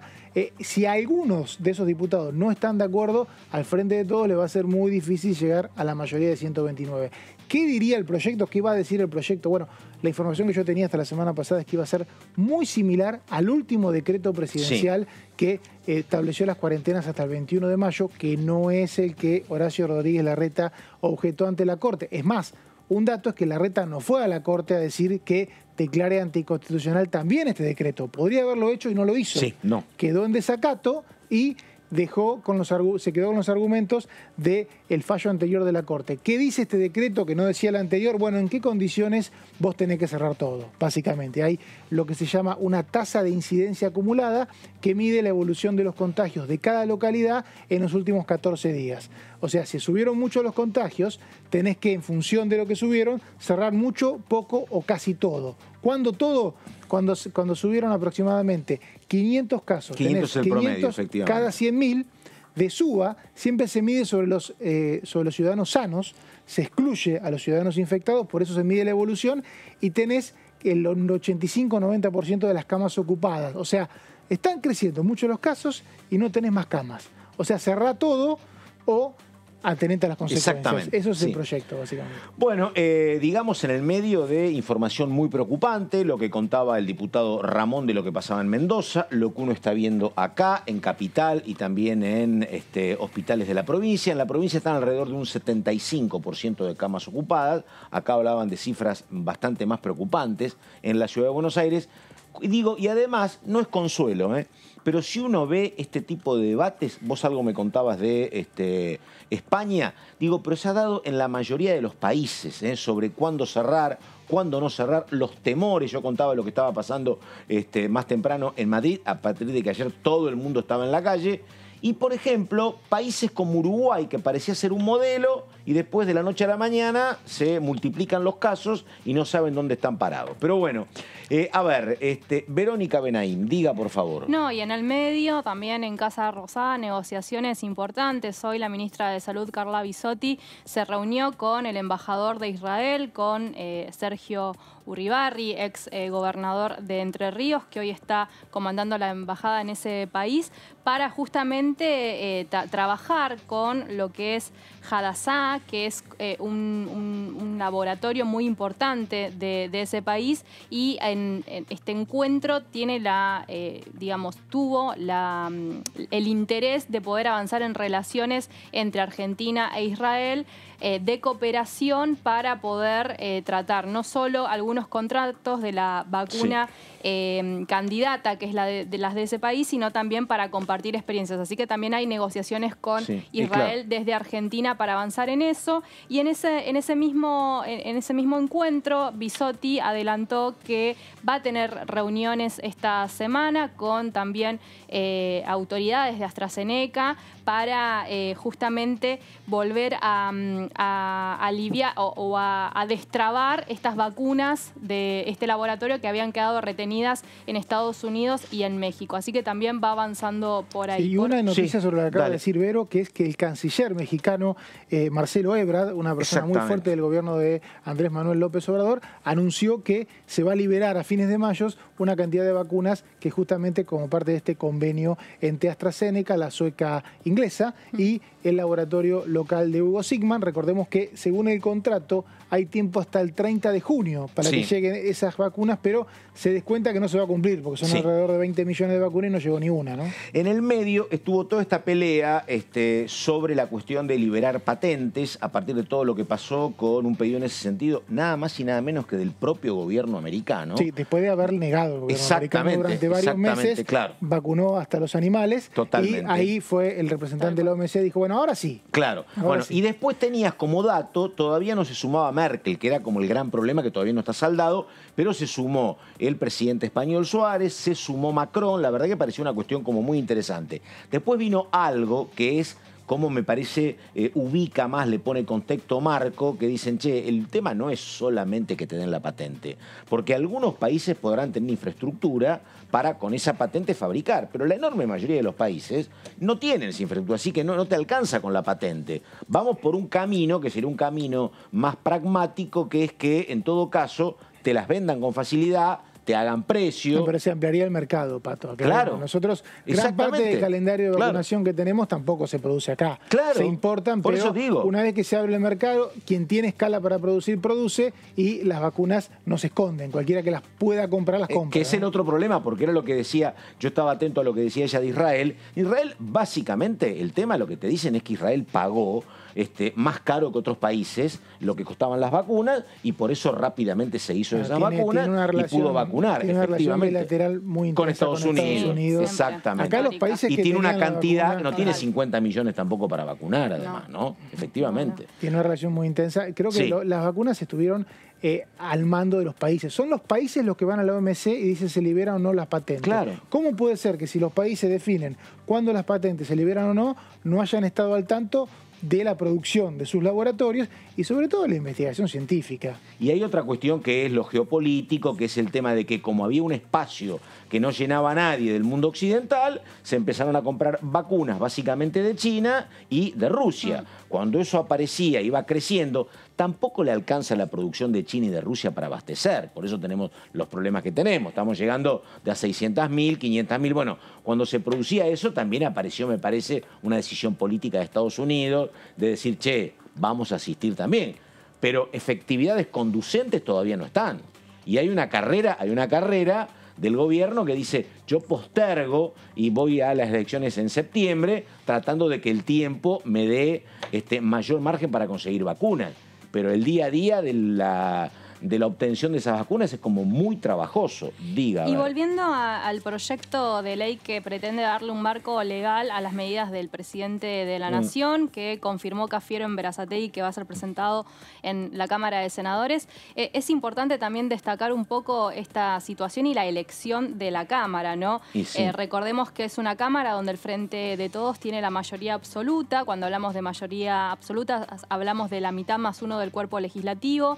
En este caso tienen que ser unos 36, 37 senadores. El Frente de Todos allí posee 41 eh, legisladores como para poder sacar el proyecto sin, eh, de manera cómoda, eh, sabiendo que seguramente, o tanteando las posturas de Juntos por el Cambio, como lo hemos hecho, seguramente va, va a ir Ahora, por el te lado pregunto, en contra. Vero, Sí. te pregunto, eh, ¿esta estrategia ya es la estrategia del procurador fiscal o de la reforma judicial?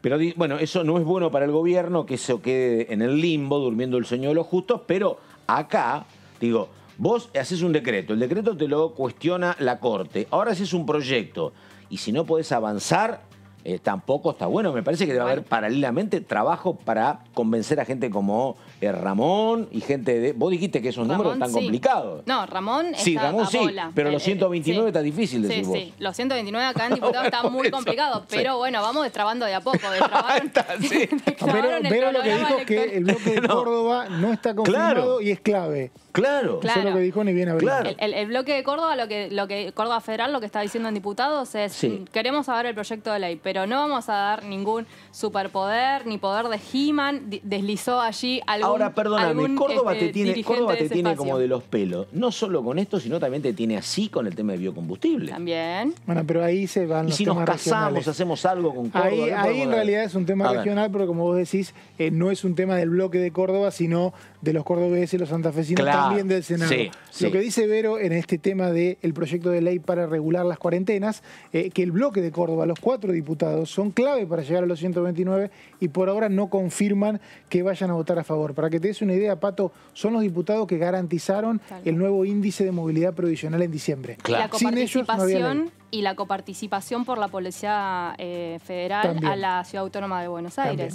Eh, ese porcentaje lo garantizó en diputados el, el bloque de Córdoba Federal. Y lo que tengo eh, por, este, por estos minutos, eh, ese, es el trabajo que estaba haciendo por teléfono, es que el Senado esta semana pretende avanzar en una sesión, no así hasta ahora la Cámara de Diputados, pero el Senado ya tiene eh, pensado que eh, sesionar el jueves. Recordemos que hace eh, varias eh, semanas que el Senado eh, entró también como en un, en un estado donde solamente se estaban tratando las iniciativas en comisiones, pero sesiones eh, hace, hace ya un mes por lo menos que, no hay y aparentemente habría una, una sesión esta, este, este jueves con una titular del Senado que hoy está ocupando el Poder Ejecutivo Nacional porque el presidente Alberto Fernández está de gira por Europa. Así que seguramente quedará todo bajo el comando de Claudia eh, Ledesma Abdalá de Zamora, que es la presidenta provisional de, la Cámara Alta. Así que bueno, hay movimientos. Lo que podemos decir, eh, Pato, por, este, por estos momentos es que hay movimientos. Ha ingresado el proyecto de corrimiento del cronograma electoral a la Cámara de Diputados eh, y bueno, el Senado también tiene su accionar durante, durante esta semana. Bueno, a ver, a mí me gusta hablar con el diputado Acef porque tiene una mirada estratégica en muchísimos temas, así que bueno justo para saludarlo. ¿Cómo le va, diputado Carlos Méndez, acá en Diputados TV, que dice, buenas tardes? ¿Qué tal? ¿Cómo le va, Carlos? Bien, bien. Diputado, mire, la pregunta es la siguiente, después nos metemos en las particularidades de estos proyectos que habrá que ver cuándo pueden llegar, pero la pregunta mía es, a ver, han pasado muchas cosas en las últimas dos semanas, un presidente americano, Biden, que se dirigió al Congreso planteando que los trabajadores tienen que tener otro tipo de salarios, cobrar creo que era 15 dólares por, por hora. Este, prácticamente hablaba de salarios en dólares en Estados Unidos mínimos de 2.400 dólares. Planteó de que este, la base de la sociedad es la clase media y la clase media se sustentaron en sindicatos. Dijo que los ricos tienen que pagar más impuestos. Habló en contra de la deslocalización de las empresas para evitar pago de impuestos. Ahora acompaña el tema de liberación de patentes. Le pregunto, este, digo, ¿hay como un inicio o indicio de nuevo paradigma? ¿Hay cuestiones muy de, fondo que están cambiando o que se están este, instalando como debate o no, diputado? ¿Cómo lo ve? Es un tema muy, muy extenso que usted plantea, muy importante por otra parte, porque se trata por ahora del primer país del mundo en materia económica. Claro. Y además en Occidente no hay duda alguna que es así. Así que estamos hablando de, palabras mayores, cuestiones mayores. Eh, es evidente que en primer lugar debemos tener muy presente siempre que la máquina de hacer dólares... La tienen ellos. La tienen ellos. sí. Eso, eso, es, eso es un punto de partida que es eh, insoslayable cuando se hace un análisis sobre estas medidas, porque mm, las espaldas y musculatura que tiene esa economía eh, no las tiene, por ejemplo, la República Argentina. En segundo lugar, es evidente que Estados Unidos está sobrellevando desde hace años una profunda crisis, que no es solamente una crisis eh, económica, producto de la deslocalización de empresas, como bien señalaba usted, eh, Carlos, que ha sido un proceso muy penoso para ellos, muy grave, porque los grandes, las grandes corporaciones se trasladaron al Asia y a otros lugares, pero fundamentalmente incluso a China, buscando la ventaja del salario más barato y otros y otros beneficios, incluso de impuestos. Por eso cuando se habla ahora de aumento de impuestos en Estados Unidos y paralelamente de relocalización de esas empresas en Estados Unidos, hay una suerte de tema contradictorio que habrá que ver cómo lo resuelve la administración de Biden, porque en general la atracción tiene que ver con eh, la desgrabación o los estímulos impositivos fundamentalmente y de alguna manera también crediticios. Así que eh, yo insisto en algún concepto que con ustedes lo, hablamos eh, y tuve la oportunidad de decirlo y creo que fue en fin, coincidente con el criterio de muchos de ustedes y sobre todo de los oyentes. Eh, los impuestos tienen que ir a los ricos, pero no a las empresas fundamentalmente, porque son cuestiones de personas y no de emprendimientos. En los emprendimientos eh, reciben inversiones de las personas, ahí no tienen que recaer mayores impuestos. Tiene que recaer en todo, en todo caso mayores impuestos en los capitales ociosos o personales o especulativos financieros. Eh, aunque esto último también tiene una cuestión eh, particular a atender. Las finanzas muchas veces son los vehículos que, eh, que permiten desarrollar emprendimientos porque todo emprendimiento necesita financiamiento. Así que tampoco hay que demonizar a las finanzas por las finanzas en sí mismo. Pero de todas maneras, eh, Estados Unidos está tratando de reactivar su economía y cuando libera, por ejemplo, eh, paralelamente las vacunas, está pensando también en que la pandemia es eso, es una epidemia universal. Entonces no hay frontera que la contenga. No hay muro de Trump ni de nadie que pueda contener el ingreso de la, peste en Estados Unidos. Y Estados Unidos además necesita un mundo que active su intercambio, porque si Estados Unidos quiere reactivar su economía, necesita también, además del mercado interno, vender afuera. Y para vender afuera tiene que reactivarse la economía de Europa y la economía de África y la economía de América Latina y la economía del Asia. Por lo tanto, por eso favorece el combate de la peste liberando los, las patentes. Así que hay toda una estrategia norteamericana que hay que tenerla muy presente y que se repite, por otro lado, con la que hizo Roosevelt en el año 1932 y con la que, o 33, y la que hizo eh, la crisis de, de las hipotecas en 2008 el gobierno eh, de Bush en ese momento, de Clinton. Eh, es decir, siempre Estados Unidos apela a instrumentos keynesianos para estimular la, inversión y, activar la economía cuando hay una recesión o hay una situación de contracción. Pero esos instrumentos no son instrumentos que se aconsejan siempre, sino que son para momentos determinados y además tienen que ver con una economía que tiene mucha solidez. La nuestra, desgraciadamente, hace muchos años que viene eh, siendo muy frágil y tiene además otro componente que no tiene la norteamericana, que es la inflación persistente. Entonces hay varios inconvenientes para hacer una traslación automática y mecánica de lo que plantea Estados Unidos y traerlo para acá. Ahora, es cierto que acá se necesita eh, inyectar fondos para reactivar el mercado, pero ahí viene el tema. ¿Esa inyección es solamente estatal o sería bueno que haya una inyección de inversiones privadas? Ahora, para que haya inyección de, de inversiones privadas, tiene que haber un contexto que la favorezca. Entonces ahí está el kit de la cuestión. Diputado, ¿qué tal? Buenas tardes. Verónica Benaim lo, saluda. Em, quería consultarle, eh, con esta mirada internacional que usted tiene, que además conforma comisiones importantes como la de Relaciones Exteriores, ¿cómo, cómo está viendo esta gira que está encabezando Alberto Fernández por Europa, los países que seleccionó, las reuniones que va a tener? un poco cómo lo ve y, y qué expectativas cree que le puede eh, o, que le genera a usted eh, este viaje presidencial? Bueno, primero de todo, que todo viaje presidencial es siempre bienvenido en, términos generales, porque las relaciones con el mundo son tan fundamentales como todas las otras políticas que debe llevar adelante la Argentina.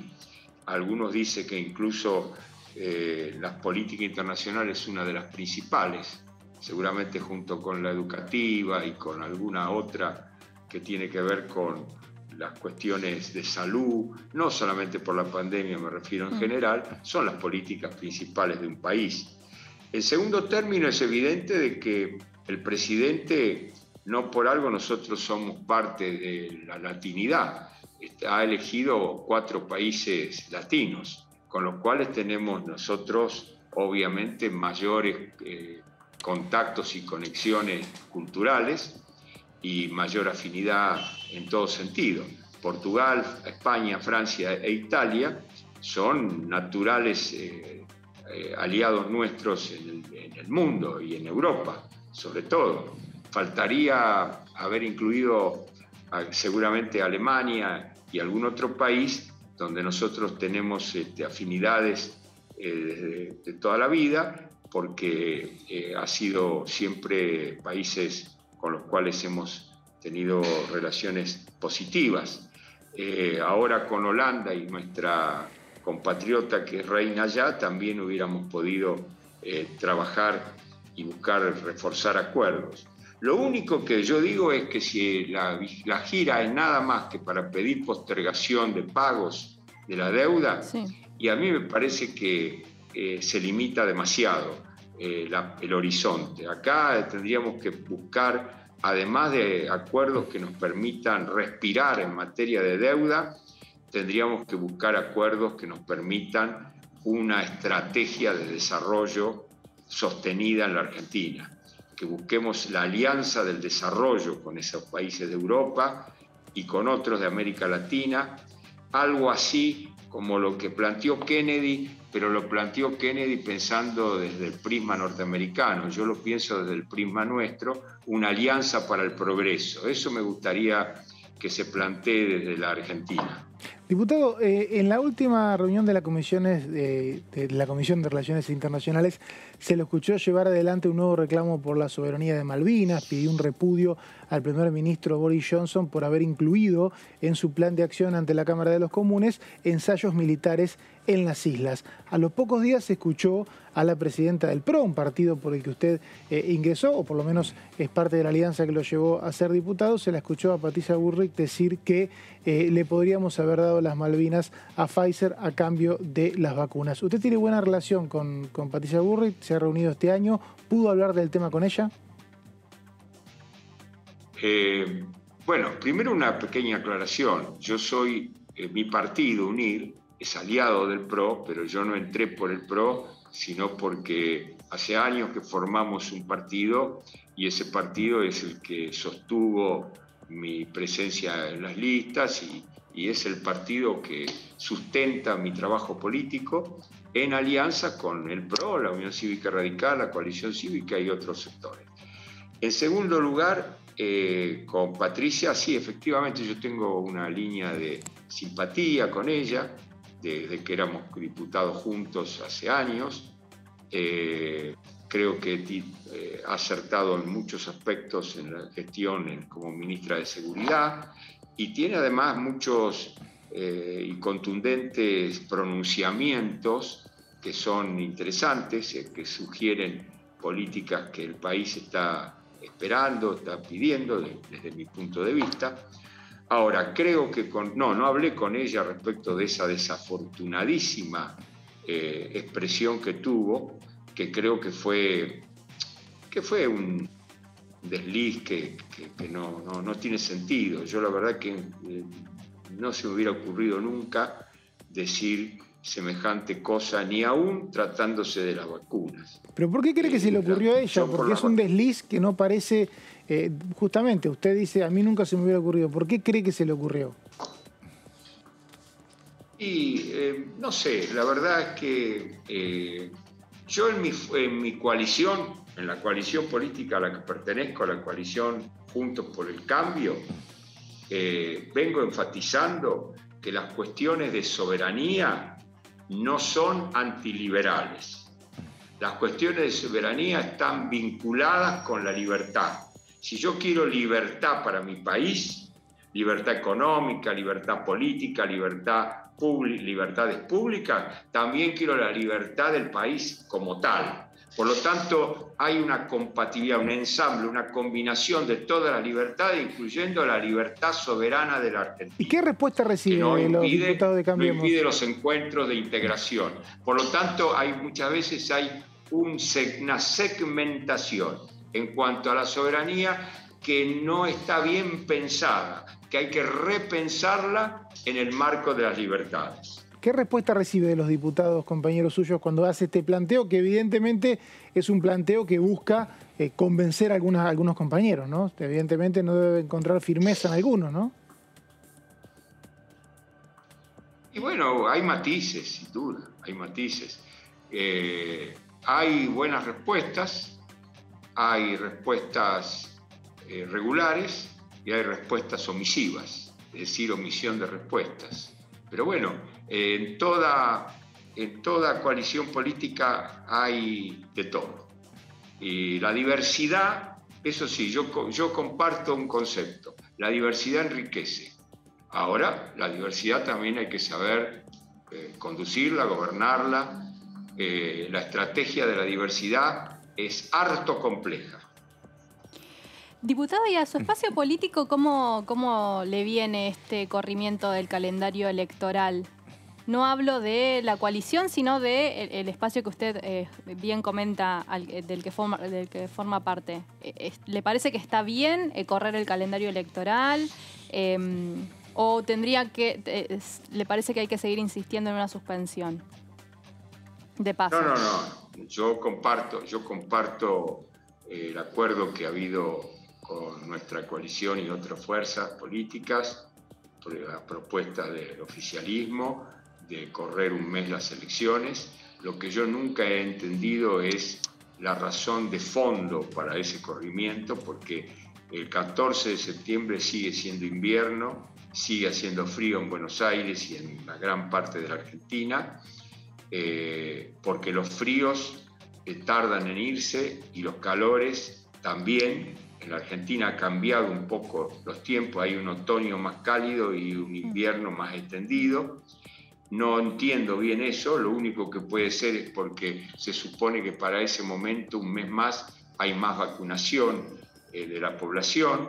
Si es por eso, y es una especulación electoral, bueno, no, no, no voy a cuestionarlo porque sea una, una, especulación, porque especular electoral o políticamente especulamos todos, así que no le voy a negar el derecho al oficialismo de especular políticamente. Nosotros también especulamos políticamente. Y a la hora de, cerrar, diputado, y a la hora de cerrar la lista de esa lapicera, vas vos, se baja, ¿esto, ¿esto modifica este corrimiento o es indistinto? No, no, no, no, no, no modifica porque lo que es fundamental es algo que hay que subrayar. Mm. ¿Qué pidió nuestra coalición? Que las pasos no se eliminen ¿Por qué? Porque nuestra coalición quiere usar las pasos, las quiere utilizar, tal como la ley lo prevé. Es decir, si hay, no hay armonía en las listas para, para, confeccionar las listas, habrá entonces competencia democrática para lograr el acuerdo a través del voto de la gente en distintas listas. Por lo tanto, eh, nosotros vamos a utilizar las pasos si es necesario como fuerza política, y no solamente nosotros, sino muchos otros sectores que como nosotros tienen eh, anhelos de, ser integrantes de la representación política elegidos en, el año, este año, vamos a utilizar las pasos. Las pasos, las pasos realidad esta vez me parece que van a tener más importancia que, que nunca, porque antes más bien las pasos han sido formales, han sido un, plebiscito o una consulta popular organizada por el Estado previa a la elección. Esta vez pueden significar verdaderamente eh, expresiones democráticas diversas que en, una, en cada coalición participan hasta llegar a la lista común que es el resultado de la proporción de votos obtenidos por cada uno. Eh, diputado, usted dijo una frase muy interesante que hay que explicarle, dijo, o tiene que entender el liberalismo, que las cuestiones de soberanía son cuestiones centrales, que no pueden estar disociadas. Por eso le pregunto, Diego, este, el eh, senador Tayana eh, plantea el dragado del Magdalena. Es una iniciativa este, muy respaldada por varios. Digo, usted alguna vez hemos hablado del tema, ¿Usted acompañaría el dragado del Magdalena por, o del dragado ahí del, canal de Magdalena o no, este diputado? Absolutamente lo acompaño. Ah, viste, Totalmente lo acompaño. Empezaron las audiencias el viernes, ¿eh? claro. Yo lo he propuesto. Por eso, por eso le preguntaba. Eh, sí, sí, el canal Magdalena es la prolongación natural de la hidrovía. Claro. Nosotros tenemos que hacer una hidrovía más extensa que salga derecho al Atlántico derecho al Atlántico. Y ahí, perdóneme, si dice que no, si el, interbloque dice que no, porque la verdad que uno ve pocos proyectos donde este, la oposición acompaña, ahí digo usted, tiene margen, me parece, para decir, no, mira, ustedes dirán que no, pero yo apoyo totalmente. ¿Se puede dar ese juego dentro de Juntos por el Cambio o no, diputado? Hasta ahora, la verdad que yo no he tenido una sola conversación sobre este tema, ah.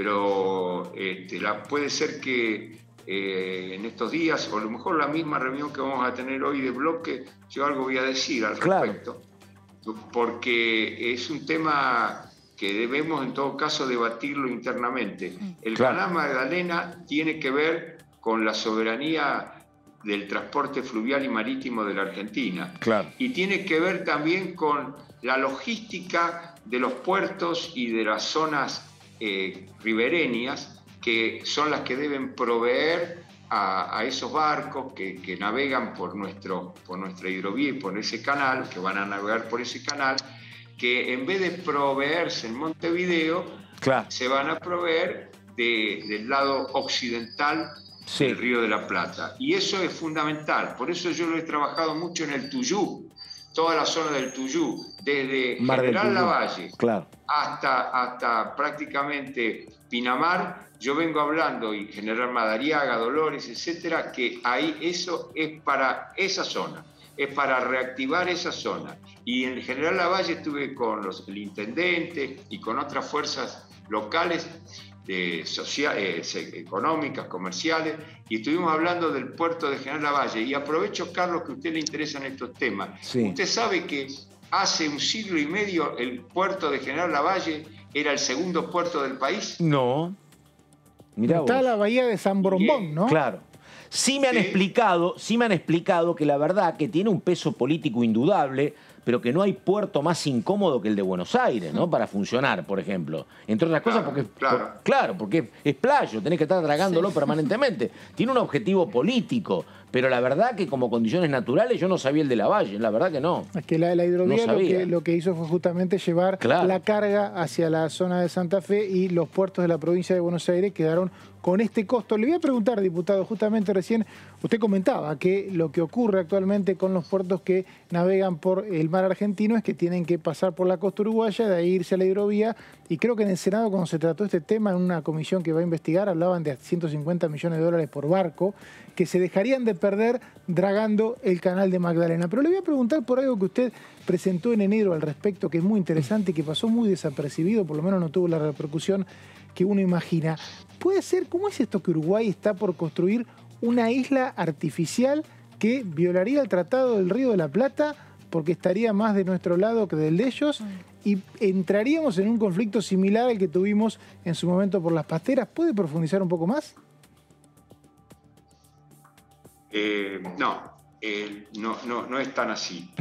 yo presenté un proyecto, yo presenté un proyecto de pedido de informes a la Cancillería Argentina sobre una idea que solamente está en, esa etapa de idea, que se conversó en una reunión del Liceo la Naval eh, o, de la, Escuela Naval, mejor dicho, de, la Armada Uruguaya en Montevideo, y un especialista eh, en esa materia, tanto de navegación como de, puertos, etcétera, eh, uruguayo, eh, siguió planteando algo que él venía ya escribiendo sobre la necesidad de construir una isla artificial prácticamente en la boca del río de la Plata, en, no es tan hacia el occidente, sino casi en, en el límite, en el medio del río, que de todas maneras, de acuerdo al Tratado del Río de la Plata, tiene que hacerse en consulta y con aprobación de la República Argentina,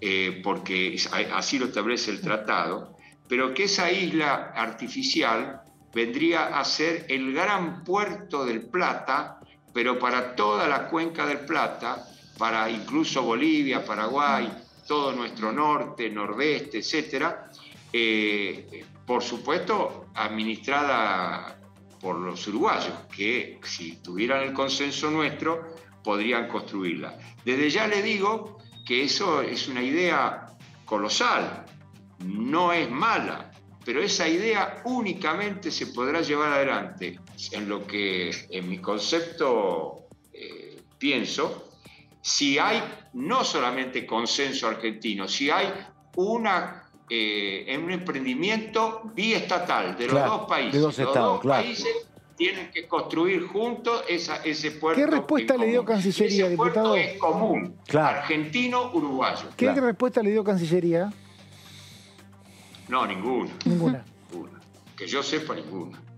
No, no, yo no tengo respuestas. Y además la verdad, lo voy a decir con todo respeto, el presidente de la, de la comisión conmigo ni, ni habla, no, nunca, nunca, habla, nunca me llamó por teléfono, este, o, nunca, nunca me ha mandado ni un mensaje. Este, yo no sé por qué, porque lo conozco hace 30 años. Este, la verdad es que no, no, no sé por qué eh, tanta... ¿De qué hablamos? ¿Relaciones exteriores? Eduardo Valdés. Ah, por eso, Valdés, por eso, relaciones exteriores. sí, sí, sí, está, está, por eso.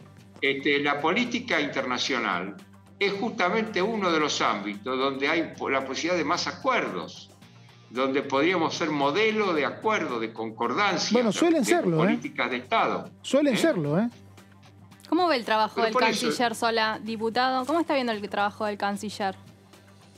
Porque, bueno, es parte responsable, ¿no? Yo, yo, tengo, yo tengo una muy buena relación personal con él de hace muchísimos años también. No quiero eh, opinar. Está muy callado, ustedes saben que está muy callado.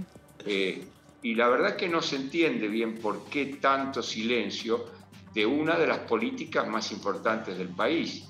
Mm. Da la impresión como que, le han pedido que no hable, y yo no sé por qué le han pedido que no hable.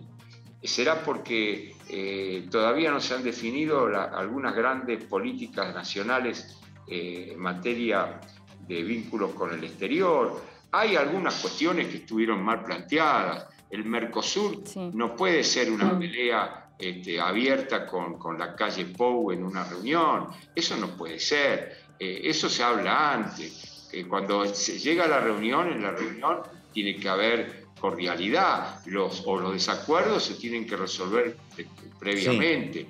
Hay alguna cuestión que no, no está bien manejada y, y eso no ayuda a los intereses del país.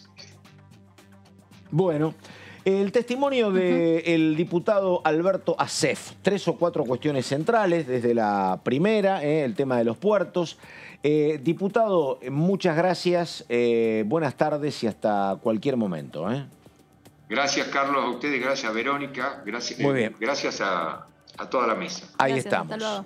Bueno, eh, tenemos que ir al corte dentro de un ratito, pero este, la verdad que tiene estas cosas eh, de ASEF, ¿no? Es un hombre con una prolongada trayectoria, formación.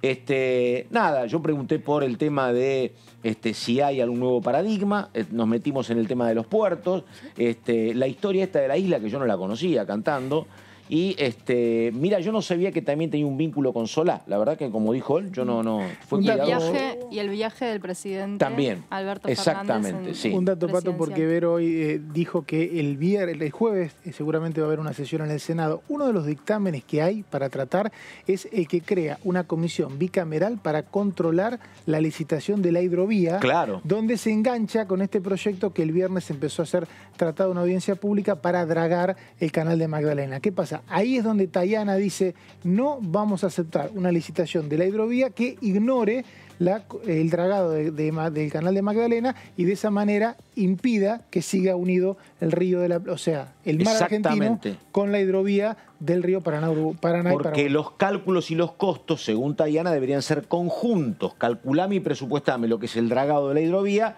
y de manera paralela el dragado del canal de Magdalena. Ambas cosas, no separadas. Postura, postura dura la de Tayana con el gobierno nacional respecto a este tema.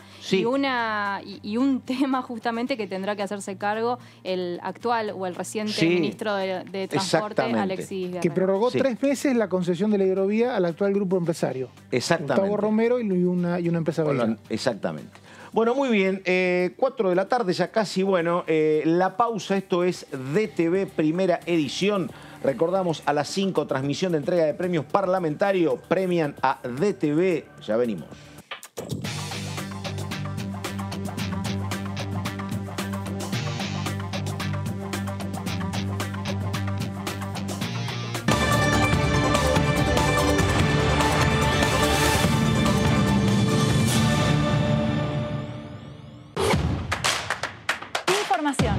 Análisis.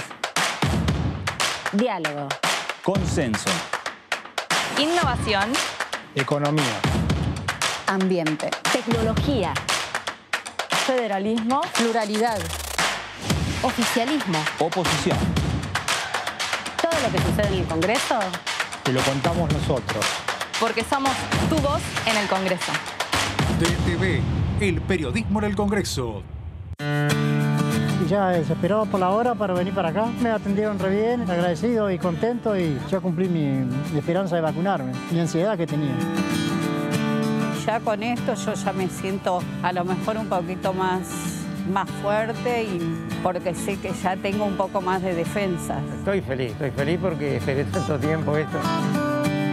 Yo me voy a cuidar lo mismo como me cuidé hasta ahora, solamente que me va a dar tranquilidad, un poco más de tranquilidad. Y todos tienen que tomar conciencia que esto sigue. Sí, uno tiene que pensar en uno y en el otro. Todos, todos, todos, sin ninguna duda tienen que vacunarse. Es la única forma que vamos a salir adelante. Que las vacunas son para protegernos. No tenemos que tenerle miedo, al contrario.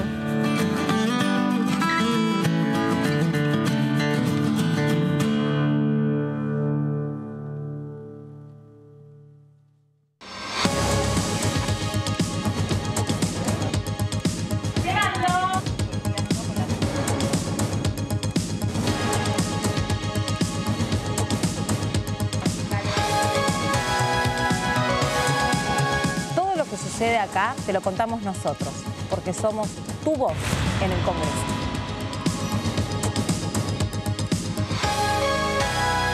DTV, el periodismo en el Congreso. ¿Qué diferencia hay entre la Cámara de Diputados y la Cámara de Senadores?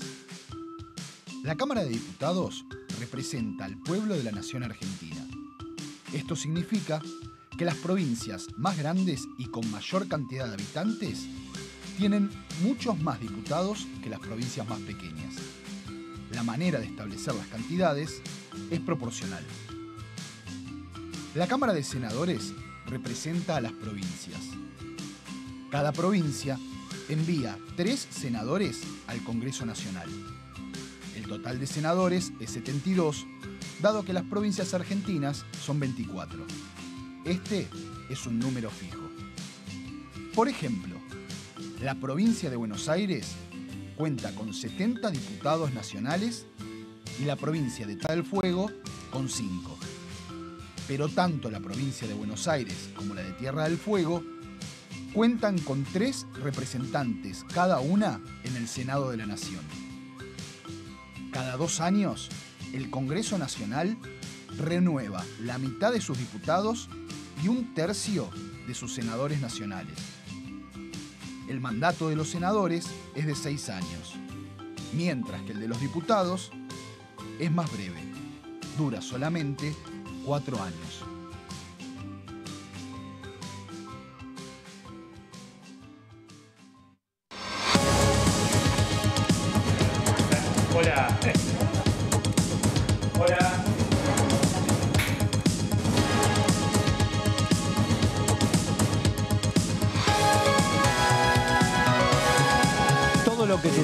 Congreso te lo contamos nosotros, porque somos tu voz en el Congreso.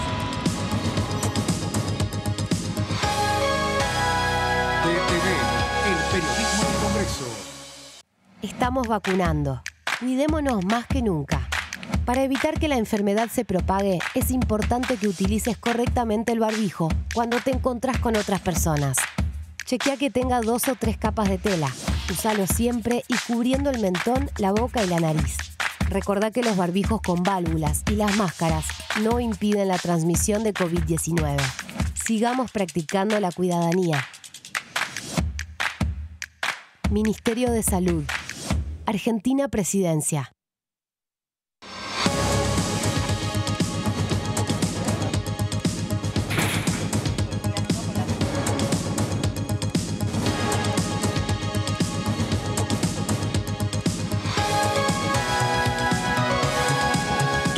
Lo que sucede en el Congreso te lo contamos nosotros, porque somos tu voz en el Congreso. DTV, El periodismo del Congreso.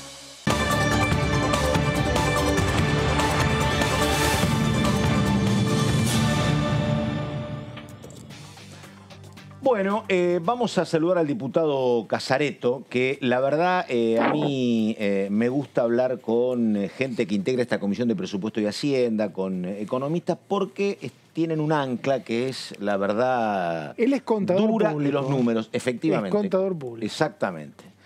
¿Quién tiene que manejar una empresa? ¿El dueño que dice al contador, che, hace esto? ¿O tiene que manejar el contador que a veces te da este, consejos equivocados? Hay que ser duro con los contadores porque a veces tiene una mirada muy fiscalista. Tal cual. Nada, qué sé yo. bueno, a ver, vamos a saludarlo al ¿eh? diputado este, Casareto Marcelo. Eh, ¿Cómo le va, diputado? Ahí está. Mirá vos, también está en la ruta Casareto. ¿Dónde anda? ahí? Tenemos paisajes en, en Sí, los- muy, muy entrerriano me parece que es eso. ¿Dónde está, diputado? ¿Qué dice? Sí, en toda la jornada de hoy hemos estado en el departamento Concordia, Ah, en la ciudad de Concordia.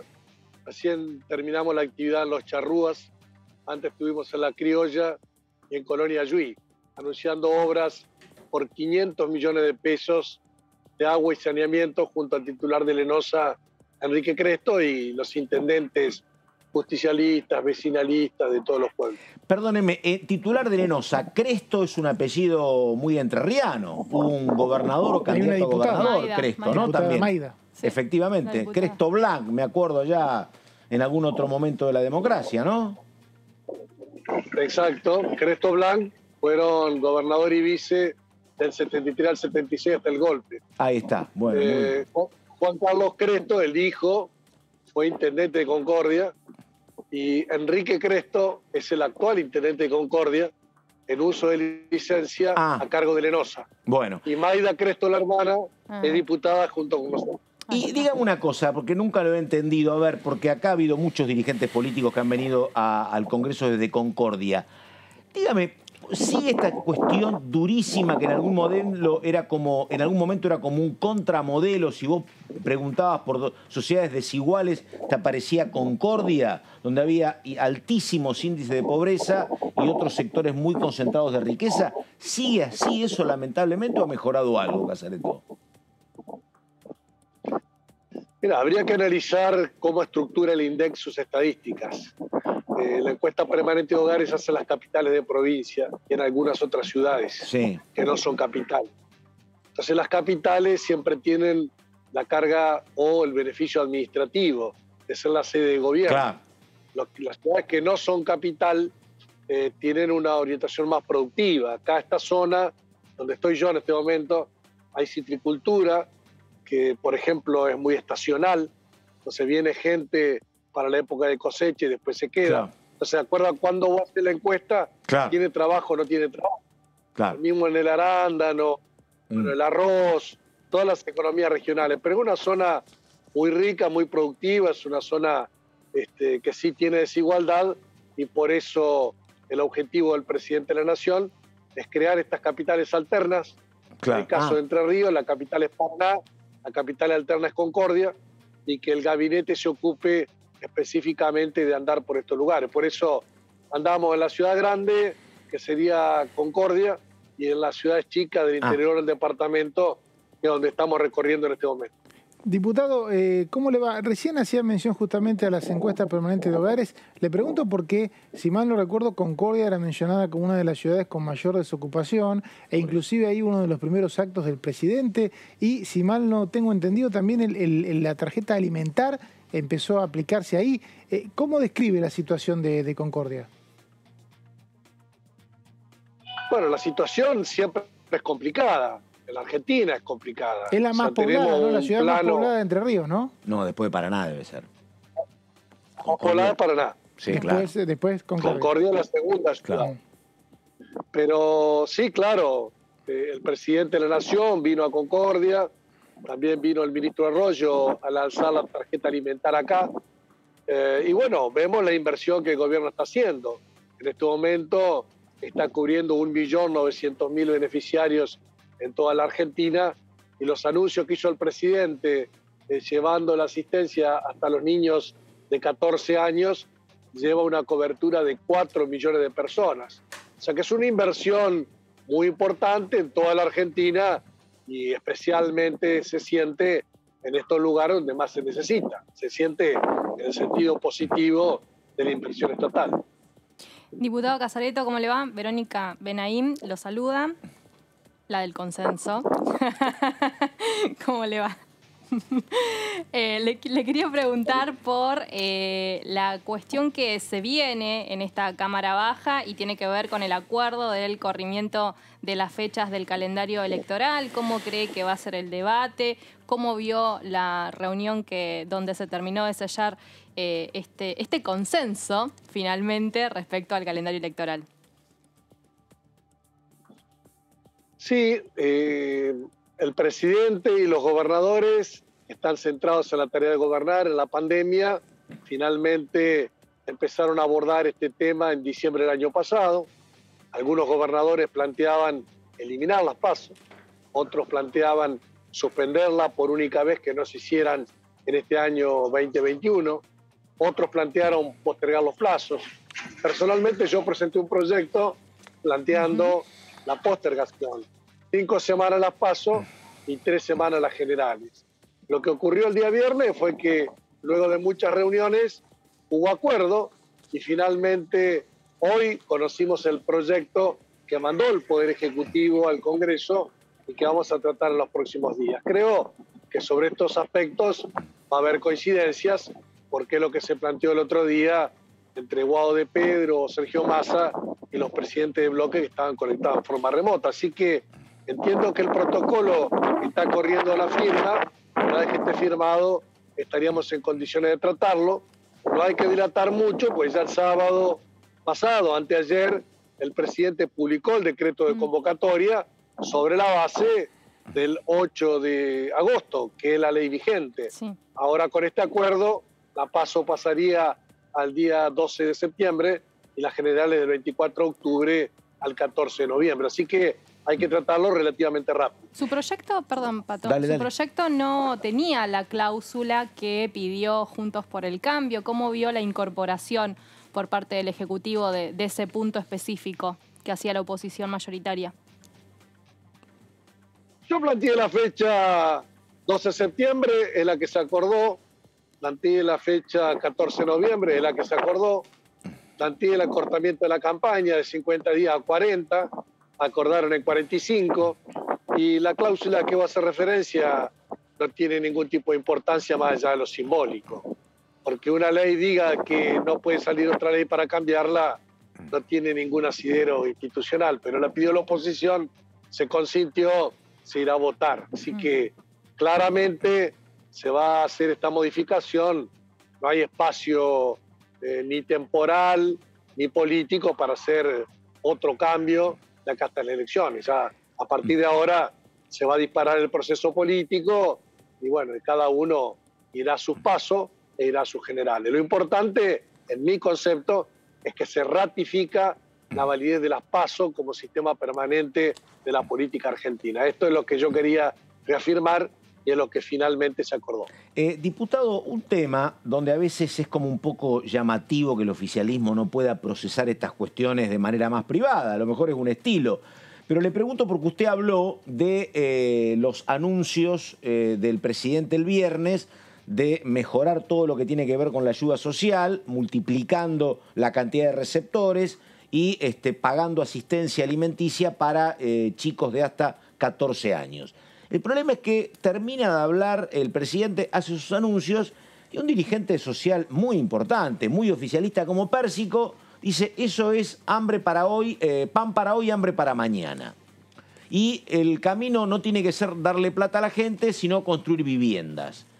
La verdad que digo, se pueden construir viviendas, es este pan para hoy y hambre para mañana. ¿Cómo, cómo lo ve usted, Casareto, eso? Bueno, yo coincido con el planteo que hizo el presidente de la Nación y que hicieron sus ministros el día viernes. Eh, me parece que hay ciertos dirigentes sociales que tienen la gimnasia de siempre tensar la cuerda para pedir un poco más, lo cual es legítimo, sí. no me asusta. Ahora, lo que yo digo es, nosotros tenemos una inversión en materia de viviendas importante, cuando se publicitó la foto de la unidad el otro día en Ensenada, en realidad era un relanzamiento de 55 mil viviendas que quedaron sin terminar del gobierno anterior. Eh, allí a ustedes les interesó mucho ver a Alberto, a Cristina, a Massa y a Kisilov, pero también estaba el gobernador Bordé de Entre Ríos, por ejemplo. Así que se están reactivando varios, varios barrios de vivienda acá en Entre Ríos. Así que eh, si uno lo mira en ese concepto, Pérsico que se quede tranquilo, nosotros queremos construir más vivienda, generar empleo. Tampoco le digo a Pérsico que hacer vivienda es trabajo permanente, porque cuando se termina la vivienda, eh, esa gente queda sin trabajo, o sea que hay que generar otro proyecto posterior para que pueda ser una cadena y seguir construyendo. Pero comparto la preocupación de la asistencia social inmediata y alimentaria y la asistencia en materia de creación de empleos. Diputado, otro debate interno de estos días es respecto a los subsidios a los servicios públicos, a la energía, al gas, al transporte. El ministro de Economía dijo que el sistema actual es pro-rico. Le pregunto si usted está de acuerdo con eh, subsidios eh, iguales para todos o si cree que tiene que avanzarse una segmentación de qué ciudadanos están subsidiados y, y cuáles no. Yo les hago un aporte a la confusión general, como decía un pensador. Eh, el sistema de servicios públicos, por ejemplo, de electricidad, está descentralizado en las provincias. Cuando ustedes discuten subsidio sí, subsidio no, a de Nori y de Sur, quédense tranquilos que acá en Entre Ríos el servicio no lo prestan ellos, lo presta la empresa Enersa y cooperativas, 18 cooperativas eléctricas. El gas no, ¿eh? Cuando ya se discute el y se dice aumentan el 9, acá aumentaron el 17. Sí. Pero con el gas no es así. aumentaron el 25, el 34, el 16, de acuerdo a la provincia. Entonces, eh, yo lo que no coincido es una eh, Argentina centralista donde todos los argentinos tenemos que pagarle la energía eléctrica a los porteños, donde todos los argentinos tenemos que pagarle el transporte a los porteños, los trenes los porteños, los subtes los porteños y toda una gama de subsidios que llevan a que en un momento, acá en Entre Ríos, una factura de luz salía 500 pesos y en Capital valía 30 pesos. Entonces, pagado por todos los argentinos. En eso no coincido. Así que yo digo, si realmente hay gente que está en condición de pobreza hoy y hay que subsidiarla, por supuesto que hay que subsidiarla. Ahora, si hay gente que tiene poder adquisitivo, no tiene ningún sentido de que el Estado lo esté subsidiando y que plantee un congelamiento de tarifa cuando la inflación del año pasado fue el 36%. Así que a lo que es la discusión porteña o bonaerense, yo le aporto un criterio federal que mientras aquella discusión está entre los tirios y los troyanos, nosotros acá tenemos otro esquema en Entre Ríos. La redistribución eh, de dinero federal es un gran debate eh, siempre históricamente. ¿Cree que se puede llevar adelante este debate que, mm, usted menciona también eh, con el tema de la segmentación? Tal vez sí eh, mirando a las provincias y quitándole a, no sé, la Ciudad Autónoma de Buenos Aires, como se ha hecho con la coparticipación de, la, em, de lo que es em, la parte de la policía. Eh, eso, ¿Eso puede llegar a darse o puede llegar a abrir otra vez una guerra que termine en la justicia? Porque un poco con lo federal pasa eso, ¿no? Que, que termina eh, eh, la resolución en, la Corte Suprema. Bueno, lo que pasa es que se ha dado de que un dirigente político va a los medios y plantea una posición política, la quiere llevar al Congreso y pierde, va a elección y pierde, entonces se va a buscar un fiscal que le dé la razón o un juez que le dé la razón. Entonces, ¿cuál es el sentido de la democracia? Si en definitiva la gente vota y finalmente un juez o un fiscal que nadie conoce son los que terminan arbitrando en esta materia. Yo lo que digo es lo siguiente con los subsidios. Las empresas tienen dolarizadas las tarifas. Así que lo que discutimos es, ¿quién va a pagar esas tarifas? ¿O la paga el usuario o la paga el Estado? Sí. Cuando decimos subsidio a todo el mundo, digamos, lo paga el Estado. Cuando decimos vamos a diversificar, vamos a estratificar, vamos a ver quién tiene capacidad contributiva, O sea, el, el consumidor que tiene capacidad va a pagar y el Estado va a concentrar su subsidio solamente en la familia que necesita, esté en Capital, Gran Buenos Aires, Entre Ríos, Jujuy o en Chubut. Mm. Eso creo que es el concepto. El que puede pagar, tiene que pagar. Si hay alguien que tiene un ingreso de 200 mil pesos, paga impuesto a la ganancia, todo decir, no, no, pero hay que subsidiarle la energía eléctrica y el gas natural. ¿Por qué? No, bueno, hay un tema eh, que fue como una marca del kirchnerismo, diputado, que el kirchnerismo decía, yo creo que con sentido, ¿eh? después económicamente, bueno, este, los costos están claros, pero ya por el 2001, 2002, 2003, el gobierno de Néstor Kirchner decía que este, no se podía soportar el controlar o la, la gobernabilidad, no podía entender, no podía soportar otro alzamiento social, una situación de malestar en el conurbano y que uno de los modos y caminos para que haya calma social era que no hubiese aumento de tarifas, era como una marca, ¿no? Este, que bueno, después se intentaron algunas modificaciones, dicen que se probó con la segmentación y que no se encontró el camino adecuado. No es tan fácil hacer una segmentación. Pero el, tratar de que las tarifas sean bajas como una cuestión de que no se dispare la inflación y de que no haya reclamos sociales, es como un sello claro del gobierno primero de Néstor Kirchner y después de Cristina Fernández. ¿eh? Lo que pasa es que eh, nunca tenés que enamorarte de tus medidas. Coincido con usted. Sí. Tenés que enamorarte de tus medidas. Coincido. Porque las medidas de política, de política económica, son solamente instrumentos para ¿Cuánta experiencia hay, eh? ¿Cuánta? ¿Cuánta experiencia, eh? Fue ministro de, ministro de Economía antes de los 30 años, ¿no? Claro, sí, ah. sí, sí, sí. Son coyunturas. claro, entonces, eh, una cosa es la situación del 2001, o si vas a hablar de Néstor Kirchner el 25 de mayo del 2003 al asumir, ese muchacho, esto está comprendido fuego o al borde de. Sí. En consecuencia, tratemos de echar baldazo de agua por todos lados para que esto no se incendie. Lógicamente esas son medidas. Me voy más atrás. ¿La convertibilidad es buena o es mala? Y claro. Matar la moneda nuestra yo creo que fue buena. En ese, momento, en ese momento era como un maná, exactamente, coincido, sí, sí. Ah, ahora, ¿qué pasó? Después se enamoraron de la convertibilidad. Sí. Se enamoraron de la convertibilidad y no le dieron flexibilidad y no supieron cómo salir, después terminan poniéndose las cosas de sombrero. Sí, sí. En este caso pasa lo mismo. Cuando vos eh, tenés que controlar el tema de las tarifas, que no haya aumentos, es lógico que vos tengas control y diga, no, no, aumento no por la situación social. Ahora, cuando después vos ves que hay sectores que se recuperan, en este momento hay una recuperación económica.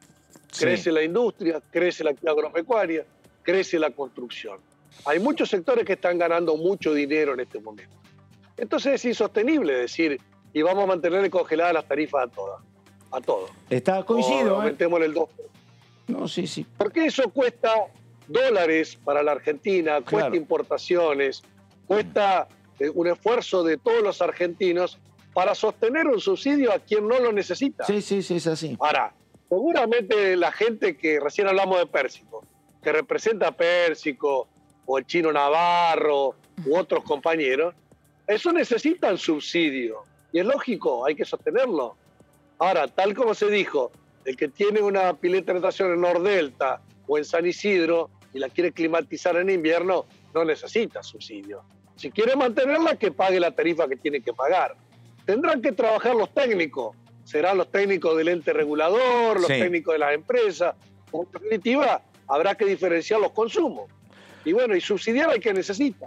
Eso es lógico. Es como dijera, vamos con la tarjeta alimentar que hablamos recién. Claro. No, no, todo el mundo tiene que comer. Y pasa un ingeniero electrónico que exporta en dólares su servicio y dice, yo quiero mi tarjetita también, es para todos, para todos. No, la ayuda alimentaria es para el que necesita. Todos los subsidios del Estado son para el que necesita. Ahí estamos. Eh, el diputado Marcelo Casareto. Diputado, eh, como siempre, gracias, buenas tardes y hasta cualquier momento. ¿eh? Bueno, este es un fondo real, ¿eh? Sí. un fondo de esos... No, se nota, se nota. ¿Se va a las termas después? ¿Se va a las termas ahora? ¿A las termas de Concordia? no, no. No, no.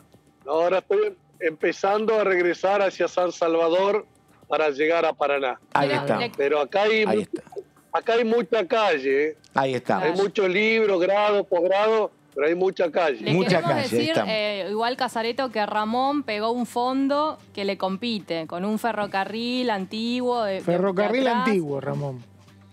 En Pegó Rufino. Muy Sí, en Rufino. Museo histórico y todo pegó.